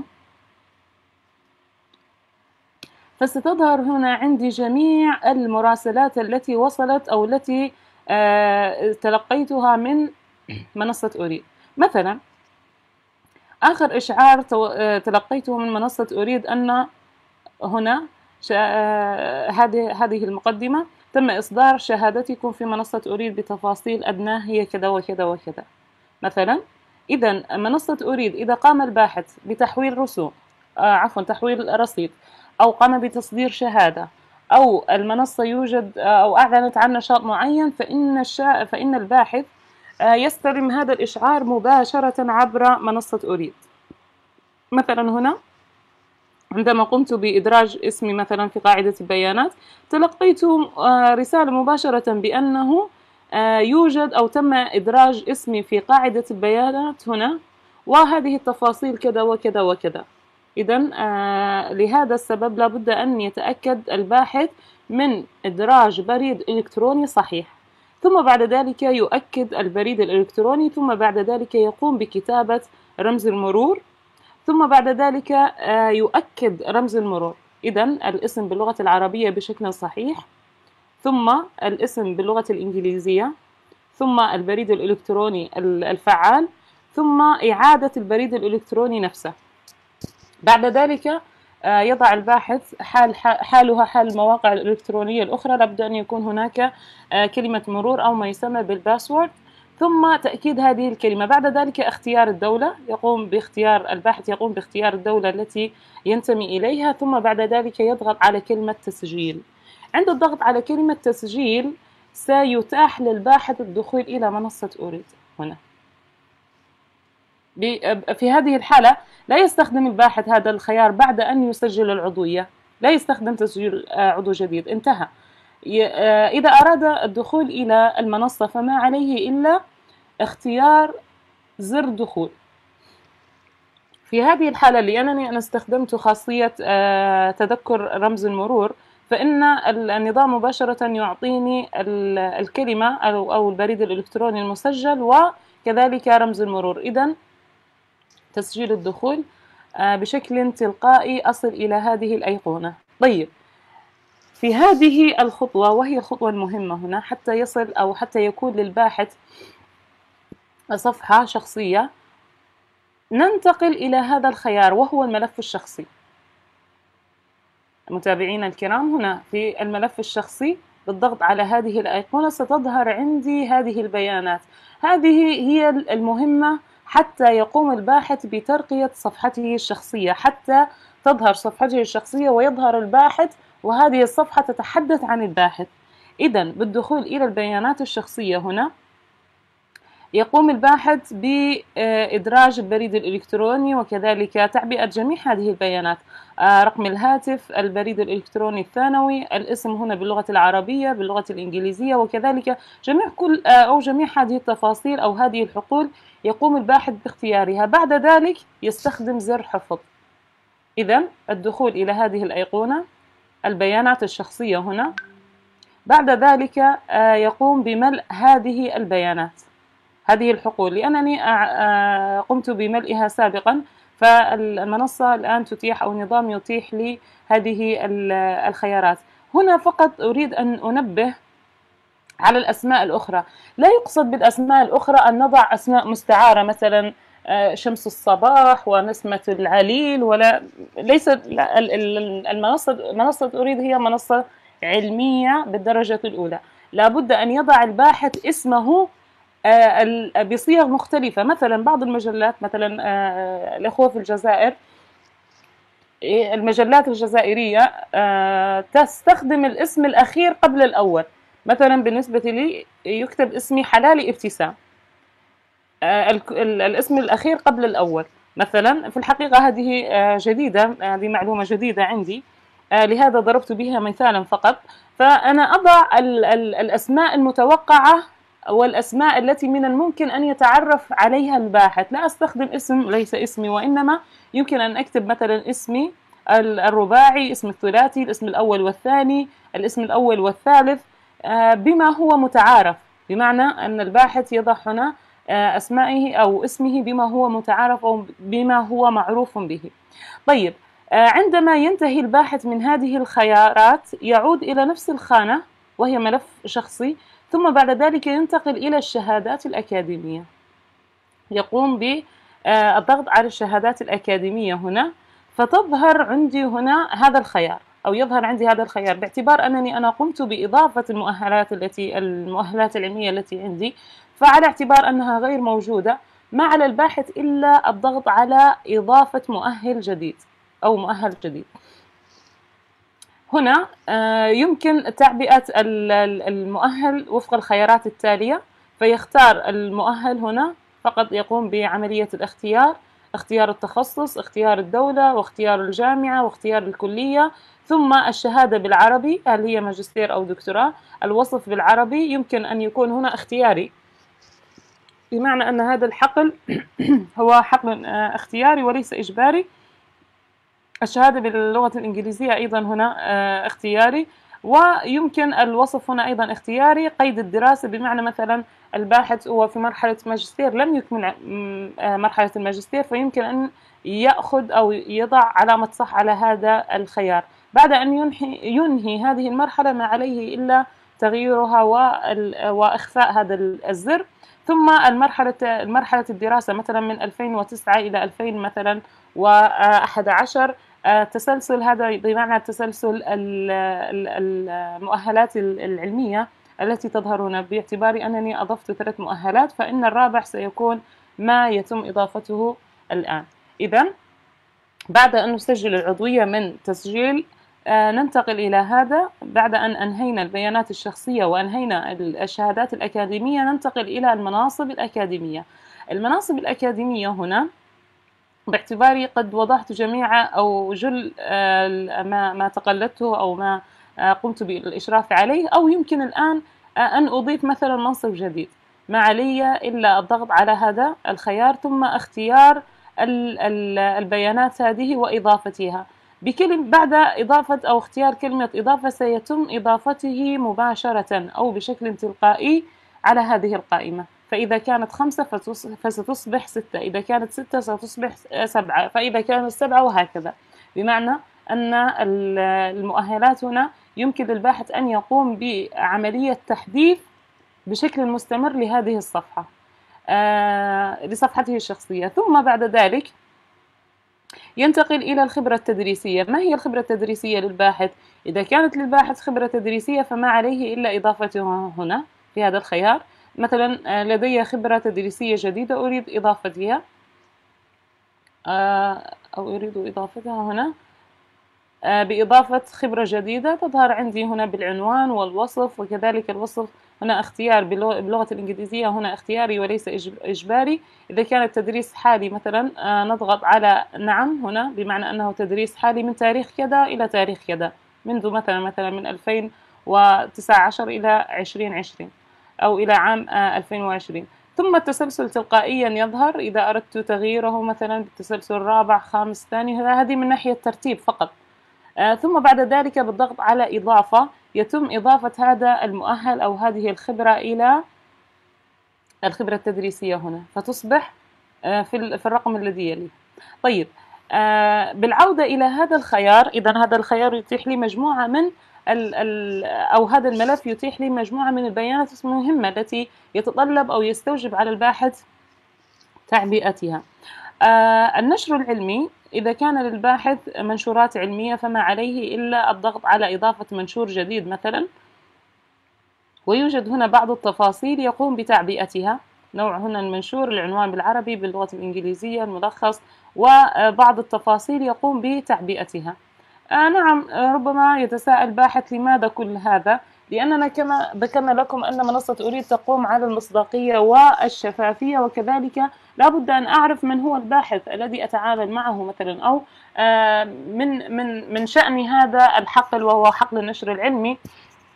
أن توفر منصة أريد الأبحاث بشكل متاح. مثلا الآن آه، كما آه، مثلا كما ظهرت عندي مثلا دكتور أو دكتور سيف يوجد في صفحته الكثير من الأبحاث التي من الممكن أن أن يستفيد منها الباحث. مثلا دكتور طه الزيدي. سنستخدم مثلا سنبحث عن دكتور طه الزيدي هنا.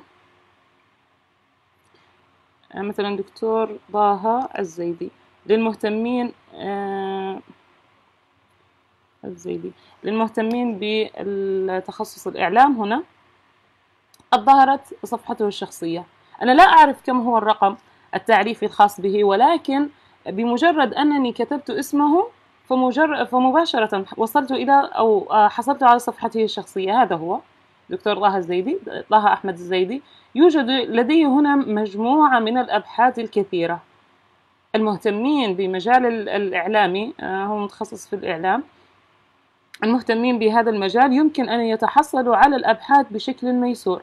فما عليه إلا مثلا مثلا هنا المسؤولية الأخلاقية التعامل مع المواقع الاجتماعي مثلا هذا هو البحث أريد أن أحمله. هل يوم هل أتواصل مع الباحث؟ أولا؟ لا لأن الباحث قد قد أتاح هذه الأبحاث للتحميل. إذا من حق كل باحث أو كل عضو في منصة وليد أن يقوم بتحميل هذه الأبحاث. أو يمكن أن أن يحملها مباشرة. ما عليه إلا الضغط هنا على تحميل. فمباشرة يظهر عندي البحث بشكل تلقائي. إذا ها هو البحث عندي. هذا ما يسمى أو هذا ما عفوا هذا ما قصدته عندما ذكرت لكم في البداية أن منصة أريد تجمع جميع أعمال الباحث في صفحة واحدة. فمثلا آه، هنا دكتور طه الزيدي قد هناك مجموعة لا تعرفه. من دكتور طه؟ هنا يوجد نبذة مختصرة. هنا يوجد العلامات آه، عفوا المؤهلات العلمية التي عنده. كذلك المناصب الأكاديمية النشر العلمي بمعنى الأبحاث التي قام بنشرها. وكذلك يمكن أن أتعرف على أنشطته العلمية. إذا هنا هذه شخصية واضحة يمكن أن أتواصل معها أيضا بشكل مباشر عن طريق استخدام هذا الزر. رسالة. مثلا آه، هنا عنوان.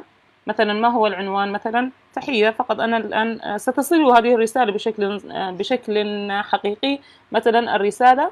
أريد أن أوجه له تحية. مثلا تحية طيبة. دكتور طه الزيدي.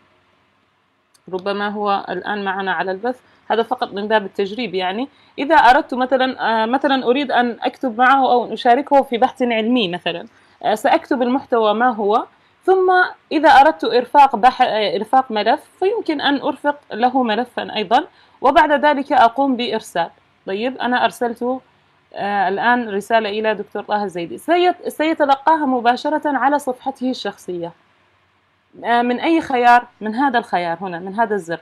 إذا أنا يوجد عندي هنا عشر رسائل معلقة. قام آه، عشر أشخاص أو عش... لدي عشر رسائل آه، مرسلة لي بالدخول إليها أو بالدخول عليها أو بتحميلها فإنني سأتعرف على.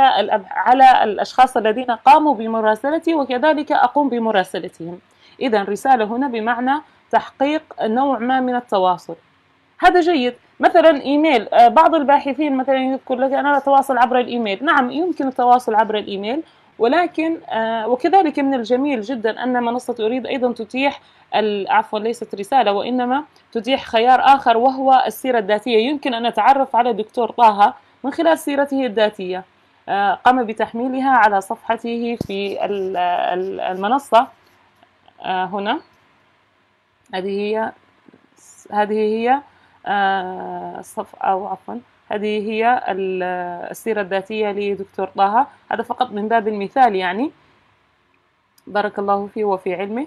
آه، فقط من باب المثال أن الباحث لا بد أن يعتني بصفحته الشخصية يقوم بتحديثها من حين إلى آخر. فيمكن أن لماذا؟ حتى يتمكن الباحث من الوصول إلى العلماء أو الخبراء والباحثين الذين يشاركونه التخصص مثلا. ما تتيحه أيضا منصة أريد أنه يمكن البحث هنا عن طريق التخصص مثلا تخصص اللغة العربية. أنا تخصصي مثلا لغة عربية. أنا أريد أن أتعرف على الباحثين الذين يشاركوني التخصص. بالضغط على هذا الخيار فقط في هذا الخيار ماذا على ماذا سأحصل؟ سأحصل على أو ستصلني أو سأحصل على قائمة آه، جميع أو جل المتخصصين في اللغة العربية. فقط ربما عندي مشكلة في البحث السريع عندي في شبكة الإنترنت ولكن آه، بعد انتهاء عملية البحث ستنسدل هنا قائمة. هي هذه القائمة مثلا هؤلاء جميعهم متخصصون في ماذا؟ في اللغة العربية. إذا قام الباحث لماذا؟ لأن الباحث عندما يسجل إن كنتم تذكرون آه، يس... النظام يسأل عن التخصص. ما هو التخصص؟ والتخصص الدقيق. إذا تخصص هنا اللغة العربية. إذا قام الباحث هنا بالوصول إلى جميع المتخصصين في اللغة العربية. مثلا الرياضيات. لن أكون متحيزة. مثلا رياضيات.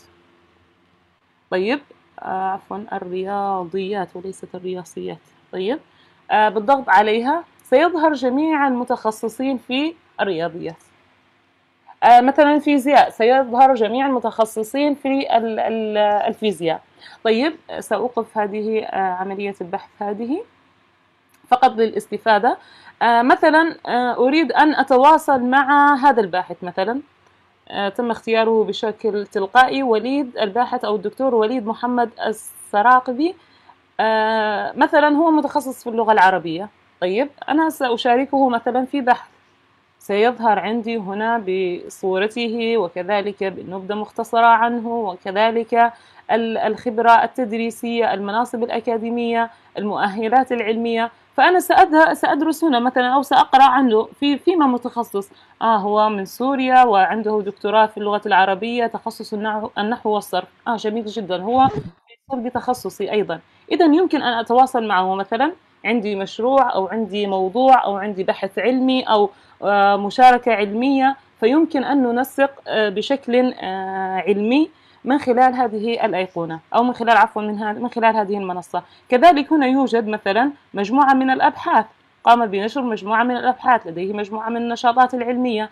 إذا يمكن للباحث أن يتوصل كما هو موجود هنا أدخل الاسم أو تخصص الباحث.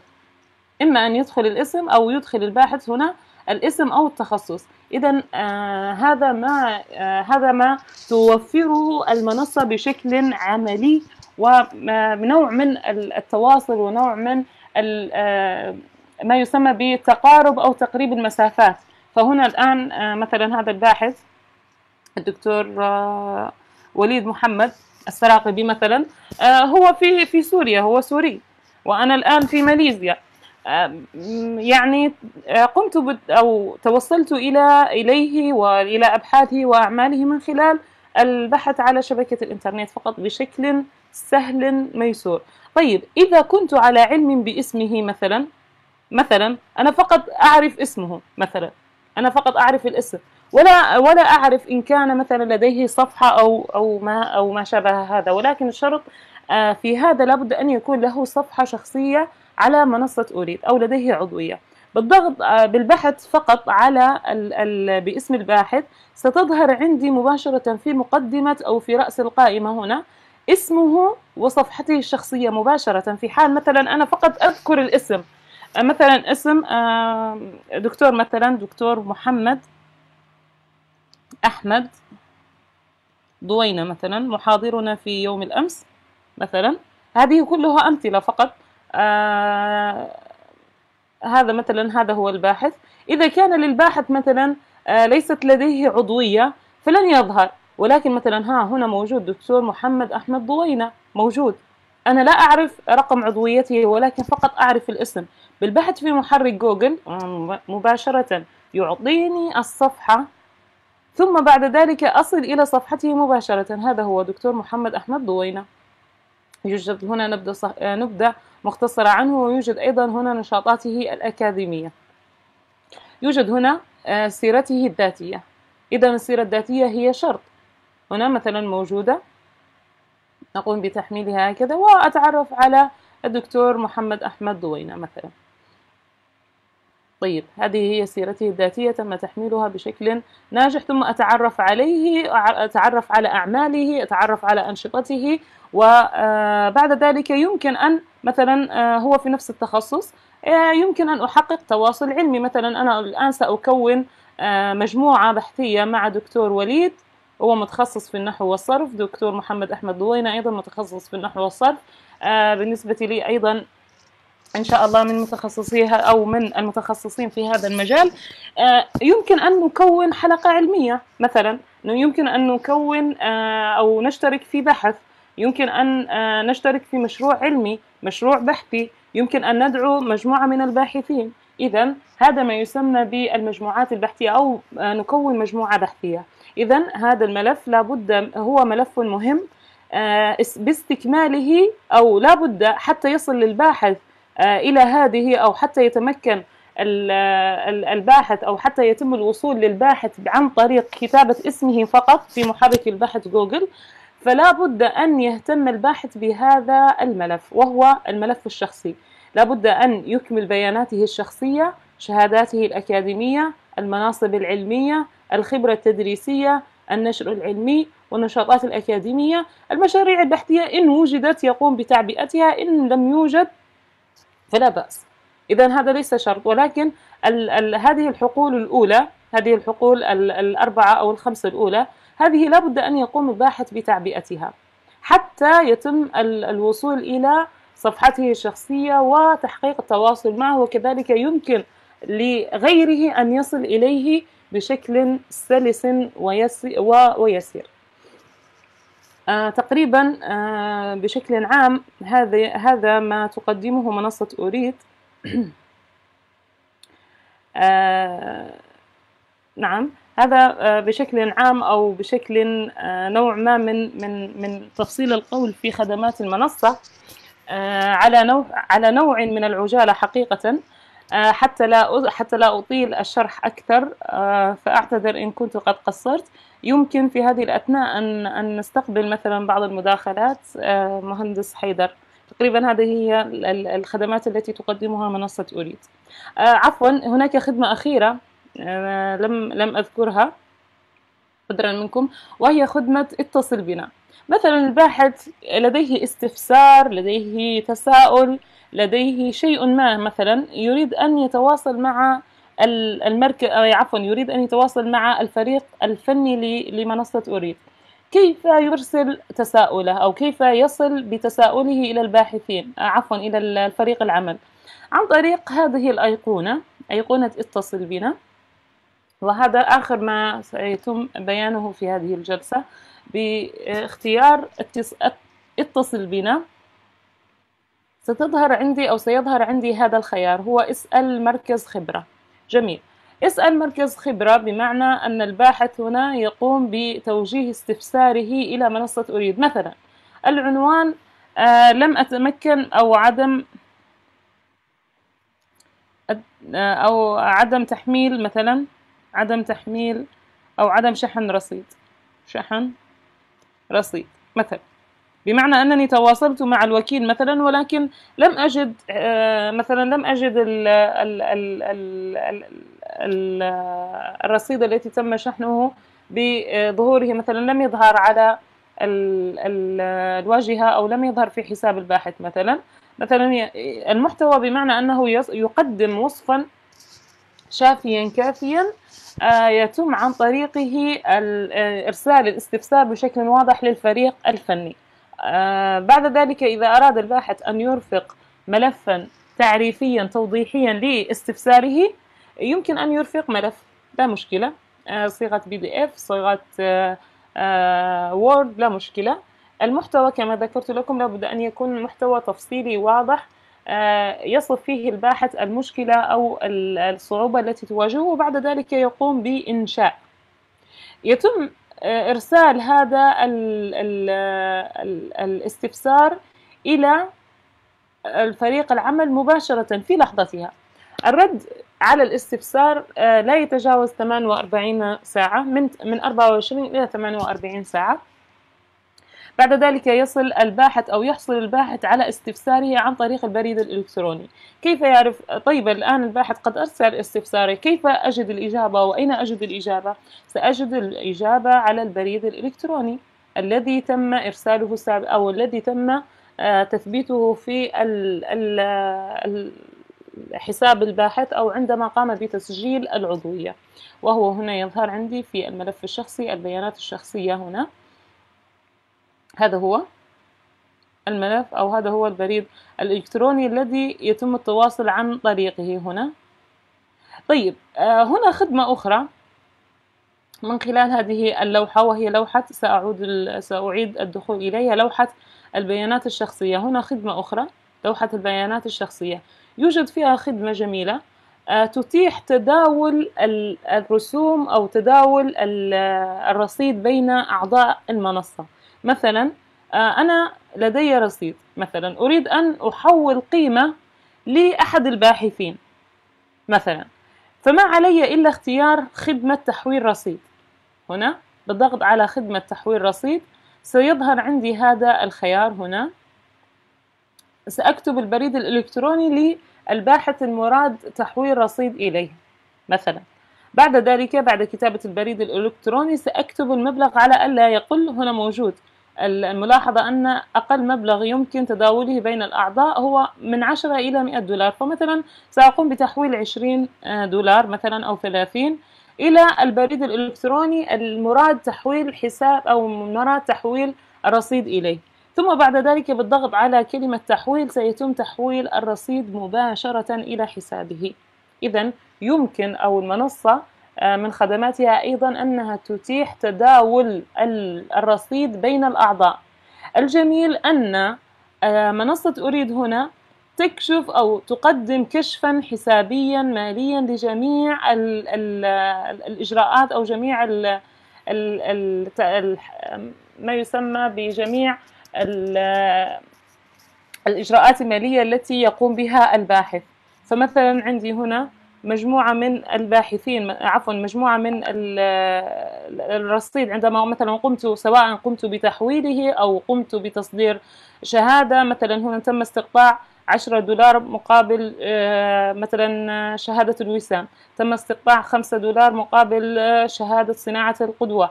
مثلا هنا تم استقطاع 5 دولارات مقابل شهادة معايير المعايير والقياسات في الحركة العلمية. تم استقطاع إذا هنا جميع التحركات المالية للباحث موثقة له. فإذا أراد الباحث أن يراجع حسابه ماليا ما عليه إلا زيارة هذا الخيار وهو خيار ماذا؟ خيار كشف الحساب. كشف الحساب هنا. يعطيني جميع التحركات المالية للباحث خلال أو داخل منصة أريد طيب هذا الخيار من أين نحصل نصل إليه؟ نصل إليه من الملف الشخصي هنا ثم البيانات الشخصية ثم بعد ذلك هنا على يسار الشاشة يمكن للباحث أن يقوم عفوا نعم يمكن للباحث أن يقوم بتحميل الملف السيرة الذاتية كما هو ظاهر هنا من خلال هذه الأيقونة يمكن أن يقوم هنا بتحميل السيرة الذاتية من هذا الخيار ثم يستخدم خيار سيف يمكن أيضا أن يقوم بتحميل الصورة الشخصية. الصورة الشخصية لابد من أن تكون محملة. من أين؟ يمكن تحويل عفوا يمكن تحميل الصورة الشخصية من هذا الخيار. هذه هي تحديث الصورة الشخصية من هذا الخيار هنا. يمكن أن أقوم مباشرة مثلا أريد استبدال هذه الصورة بصورة أخرى فما علي إلا اختيار أو تشوز فايل ثم بعد ذلك حفظ الصورة. إذا ملف السيرة الذاتية وكذلك ملف ملف السيرة الذاتية وكذلك الصورة الشخصية يمكن تحميلهما من خلال هذه القائمة بالدخول على الملف ثم البيانات الشخصية ثم بعد ذلك زيارة هذه القائمة. هنا يمكن تحديث الصورة وكذلك تحميل ملف السيرة الذاتية تحديد النبذة المختصرة. ما هي النبذة المختصرة؟ هي النبذة التي يقوم الباحث بكتابتها عن نفسه. حتى يتعرف الباحثين عليه. مثلا تفاصيل التواصل إذا أراد الباحث أن يضع روابط صفحته الشخصية أو صفحته الرسمية عفوا على الفيسبوك على Research على ResearchGate أو ORCID أو LinkedIn أو أكاديمية يمكن أن يضع جميع الروابط هنا. أيضا بالإضافة إلى عفوا هذه تفاصيل التواصل عذرا مقصود به مثلا رقم الهاتف والإيميل. أما الحسابات الخارجية فهي مثلا الفيسبوك وكذلك يمكن أن يضيف مثلا صفحته على الفيسبوك وكذلك صفحته على أو حسابه على مواقع أو المنصات العلمية الأكاديمية الأخرى. آه هذا مني لكم أستاذ حيدر أو المهندس حيدر عفوا.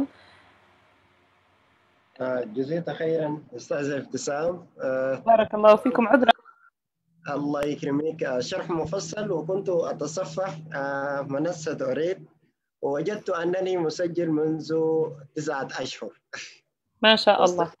من خدمات منصة اريد وحضرت له العديد من المحاضرات العلمية ابتداء من الأستاذ أبو بكر خلال فترة جائحة كورونا. نعم. شكرا جزيلا ومنصة أريد حقيقة واحدة من الموسوعات بتشمل كل الخدمات المحتاجة الباحث ومحتاجة الشخصية الأكاديمية ككل. ابتداء من تقديم المحاضرة انتهاء بإصدار الشهادة. أثر البالي بعد الأسئلة أو في قائمة الأوسمة من نعم. القائمة الرئيسية ما هي الاختلاف بين الأوسمة وهل سيحصل الباحث على تقديم خدمة معينة من خلال مثلا ترقيته من الرتبة الرتبة الأوسمة المعروفة هل سيحصل على خدمة معينة بتخفيض لرسوم مثلا شهادة أو أي ميزة من منصة أريد طيب آه، بارك الله فيكم على هذا السؤال. فيما يتعلق بالأوسمة هذه الأوسمة التي تتيحها منصة أريد في الحقيقة بعضها آه، يضفي قيمة علمية وبعضها الآخر يضفي قيمة اعتبارية للباحث. يعني مثلا القيمة العلمية أو الوسام العلمي الموجود هنا مثلا آه، مثلا وسام مثلا عفوا سأعود إلى القائمة. مثلا آه، ناشر متميز. هذه. وسام ناشر متميز. هذا يضفي قيمة علمية للباحث. لماذا؟ لأن شرط الحصول على هذا ألو... على هذا الباحث أن يكون عفوا آه، شرط الحصول على هذا الوسام أن آه، لا يمنح إلا لمن لديه 25 بحثا منشورا أو كتابا منشورا فأكثر. بمعنى أن هناك قيمة علمية أضيفت للباحث. هذه قيمة علمية. أما الأخرى الأوسمة الأخرى مثلا وسام باحث مبادر وسام باحث مبدع فهي آه أوسمة اعتبارية للباحث. بمعنى آه أما إذا كان سؤالكم مثلا هل يستخدم هل تقصدون بالسؤال أنه يستخدم مثلا في الترقيات العلمية وما شابه؟ لا أنا أقصد أنها يعني في خلال المنصة. نعم. وجود الباحث في المنصة؟ ترجمته نعم. من وسام مثلا دائم فني إلى وسام مستشار. هل يعطيه أي خاصية يميزه عن العضو الآخر؟ نعم بكل تأكيد. مثلا سأستعرض عليكم مثلا من من باب من باب المثال فقط آه، وليس من باب شيء آخر. مثلا هنا إذا رأيتم باحث مبادر. عدد الأعضاء المتحصلين عليه يعني حتى الآن 2800 عضو. ولكن مثلا آه، وسام آه، باحث مستشار لم يتحصل عليه إلا 14 عضو فقط يعني. لهذا مثلا وسام آه، التحدي هنا تحصل عليه عضوان فقط مثلا. وسام مشروع عالم تحصل عليه 68 ونحن نتحدث عن عن أن المنصة الآن عدد أعضائها يعني عفوا عدد أعضائها زاد عن الخمسين ألف عضو. ولكن هذه الأوسمة لا لا يتساوون فيها جميعا إلا في وسام باحث مبادر. فوسام باحث مبادر هذا الوسام عفوا سأعود إلى الصفحة الشخصية هنا. وسام باحث مبادر هذا الأوسمة هنا. وسام باحث مبادر هذا من الضرورة أن يكون عند جميع الباحثين. لماذا؟ لأن المسابقات مثلا المسابقات التي تقيمها منصة أريد تشترط أن يكون عند الباحث وأن يكون الباحث متحصل على وسام باحث مبادر. هذا هذا باحث هذا هذا الوسام هو وسام أساسي لجميع الباحثين. لهذا يفضل من جميع أو يطلب من جميع الأعضاء الذين يسجلون عضوية جديدة حتى يستفيدوا من مثلا المسابقات يستفيدوا مثلا من من من المشاريع التي قد تطلقها المنصة. آه، هناك نوعا ما من الخصوصية فمثلا عضو غير متحصل على عضوي على على وسام باحث مبادر فإنه لن يتمكن مثلا من التقديم على موسوعة الكفاءات العلمية. لماذا؟ لأنه فقد أحد هذه الشروط. أما وسام باحث مبادر فمتطلباته يسيرة جدا. ما هي؟ أن يكتب الاسم آه، أن يكتب الاسم الباحث عفوا اسمه باللغة العربية واللغة الإنجليزية أن يقوم بتحميل صورته الشخصية أن يضيف أو يضع أو يحمل آه، مرحلتين علميتين إضافة إلى أنشطة أكاديمية خمسة على الأقل ثم ملف السيرة الذاتية. كيف يقوم بتعبئة هذه البيانات؟ يقوم بتعبئة هذه البيانات من خلال هذا الملف. هذا ملف البيانات الشخصية.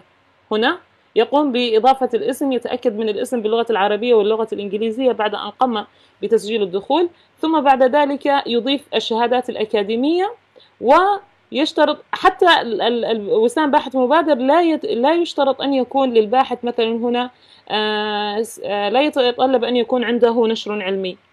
اذا هذه هي المعايير للحصول على وسام باحث مبادر. طيب آه، الوسام الآخر الأوسمة مثلا هنا. الوسام الثاني مثلا وسام ناشط في جامعة دولية. هل جميع أو عفوا في جامعة هل جميع الأعضاء تحصلوا عليه؟ لا. ليس جميع الأعضاء متحصلين عليه. طيب ما الذي يميز باحث مثلا تحصل على هذه العضويات من آه، أو على هذه الاوسمه من من باحث آخر لم يتحصل على أي اوسمه مثلا آه، الأنشطة التي تقيمها منصة أريد تشترط مثلا أن يكون الباحث متحصل على وسام كذا وكذا أن يتحصل الباحث على وسام كذا وكذا. إذا في هذه الحالة أنت مخول أو لديك الحق في المشاركة في هذا النشاط. مثلا المسابقات هنا. أذكر أن المسابقات كانت الجوائز للمرتبة الأولى أعتقد أنها كانت قيمة 500 دولار تشحن إلى رصيد الباحث الفائز الأول والفائز الثاني أذكر أنها كانت 300 دولار والثالث 100 دولار. إذا حتى يتحصل الباحث مثلا يشارك ويتحصل على هذه الجوائز لابد أن يكون محققا لأقل الشروط وهو حصول على وسام باحث مبادر. أتمنى أنني قد أجبت على السؤال. نعم أجبت على السؤال بالطريقة المطلوبة. طيب ما هي معايير اختيار البحث العلمي بالنسبة للنشر؟ أي التكلفة بالنسبة للنشر في مجلة أوريد بالنسبة لسؤال جميل. أقصد أقصد هل هناك هيئة استشارية تقوم بمراجعة الأوراق العلمية المقدمة؟ نعم يوجد هنا كما ذكرت لكم نعم. مجلة أريد للعلوم الدولية هي مجلة علمية وجميع المجلات أنا فقط استشهدت بها من باب الاستشهاد فقط أو من باب المثال عفوا وليس من باب الاستشهاد فقط. فجميع المجلات هنا بالدخول عليها سواء كان مجلة أريد للعلوم الدولية أو مجلة أريد للعلوم الإنسانية أو الدراسات الإعلامية أو أو القياسات والمعلومات فجميعها تحوي أو تضم هيئة تحرير. بالضغط أو يمكن للباحث أن يطلع عليها من خلال زيارة هذا الملف. ها هم أعضاء التحرير ويوجد هنا أعضاء اللجنة الاستشارية العليا لهذه المجلة. مثلا مجلة أريد للعلوم التكنولوجية مثلا. هذه يوجد عندها هيئة تحرير. هذه هيئة التحرير ها هو الأستاذ الدكتور سلوان العاني يوجد هنا الدكتور كريم آدم يوجد الدكتور يعني هنا ليس من باب ذكر الأسماء ولكن أقصد من باب أن جميع المجلات هي مجلات علمية محكمة والأبحاث فيها تخضع إلى تحكيم علمي بمعايير علمية دون أن يعلم الباحث أو المحكم دون أن يعلم المحكم من هو الباحث ولا يعلم الباحث من هو المحكم. يعني معايير علمية كما حالها حال المجلات العلمية التي تصدر عن جامعات والتي تصدر عن مؤسسات يعني ولكن تراعي معايير الأخلاق العلمية. جميل جدا. جميل. بارك الله فيكم. الله يكرمك إن شاء الله. نشوف لو في أسئلة بالنسبة للناس الموجودين معنا في الزوم أو الفيسبوك.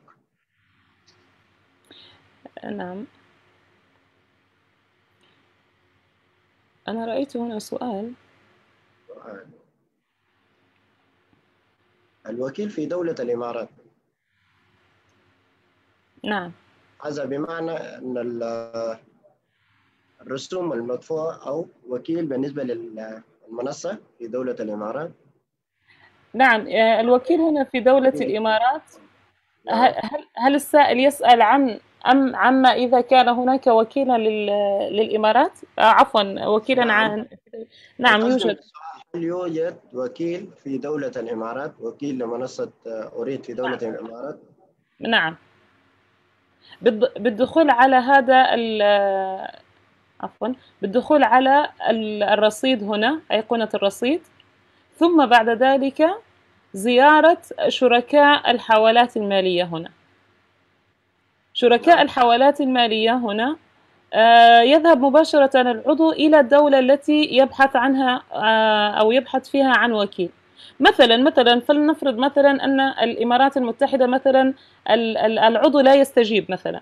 ما على الباحث إلا التواصل مثلا اتصل بنا مثلا حاولت آه، يرسل رسالة مركز خبرة حاولت مثلا العنوان وكيل مثلا وكيل آه، دولة مثلا وكيل دولة الإمارات مثلا.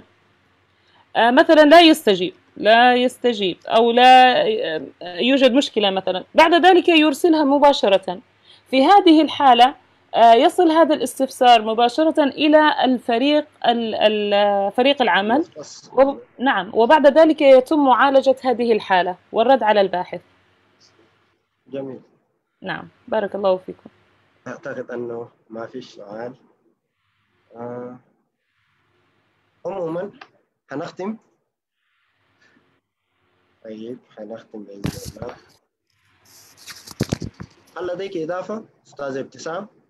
آه ختاما بارك الله فيكم وبارك الله في القائمين على هذه المجموعة وهذه المبادرة الطيبة حقيقة والأعضاء ما شاء الله المجموعة تضم على الفيسبوك تضم عدد كبير جدا يجاوز أو, أو يقارب من سبعين ألف عضو نسأل الله أن تكون أو أن نكون قد حققنا فائدة لهم ونسأل الله الأجر والجزاء الحسن لكل من ساهم في التنسيق لهذه الندوة وأسأل الله أنني قد قدمت فائدة للأعضاء.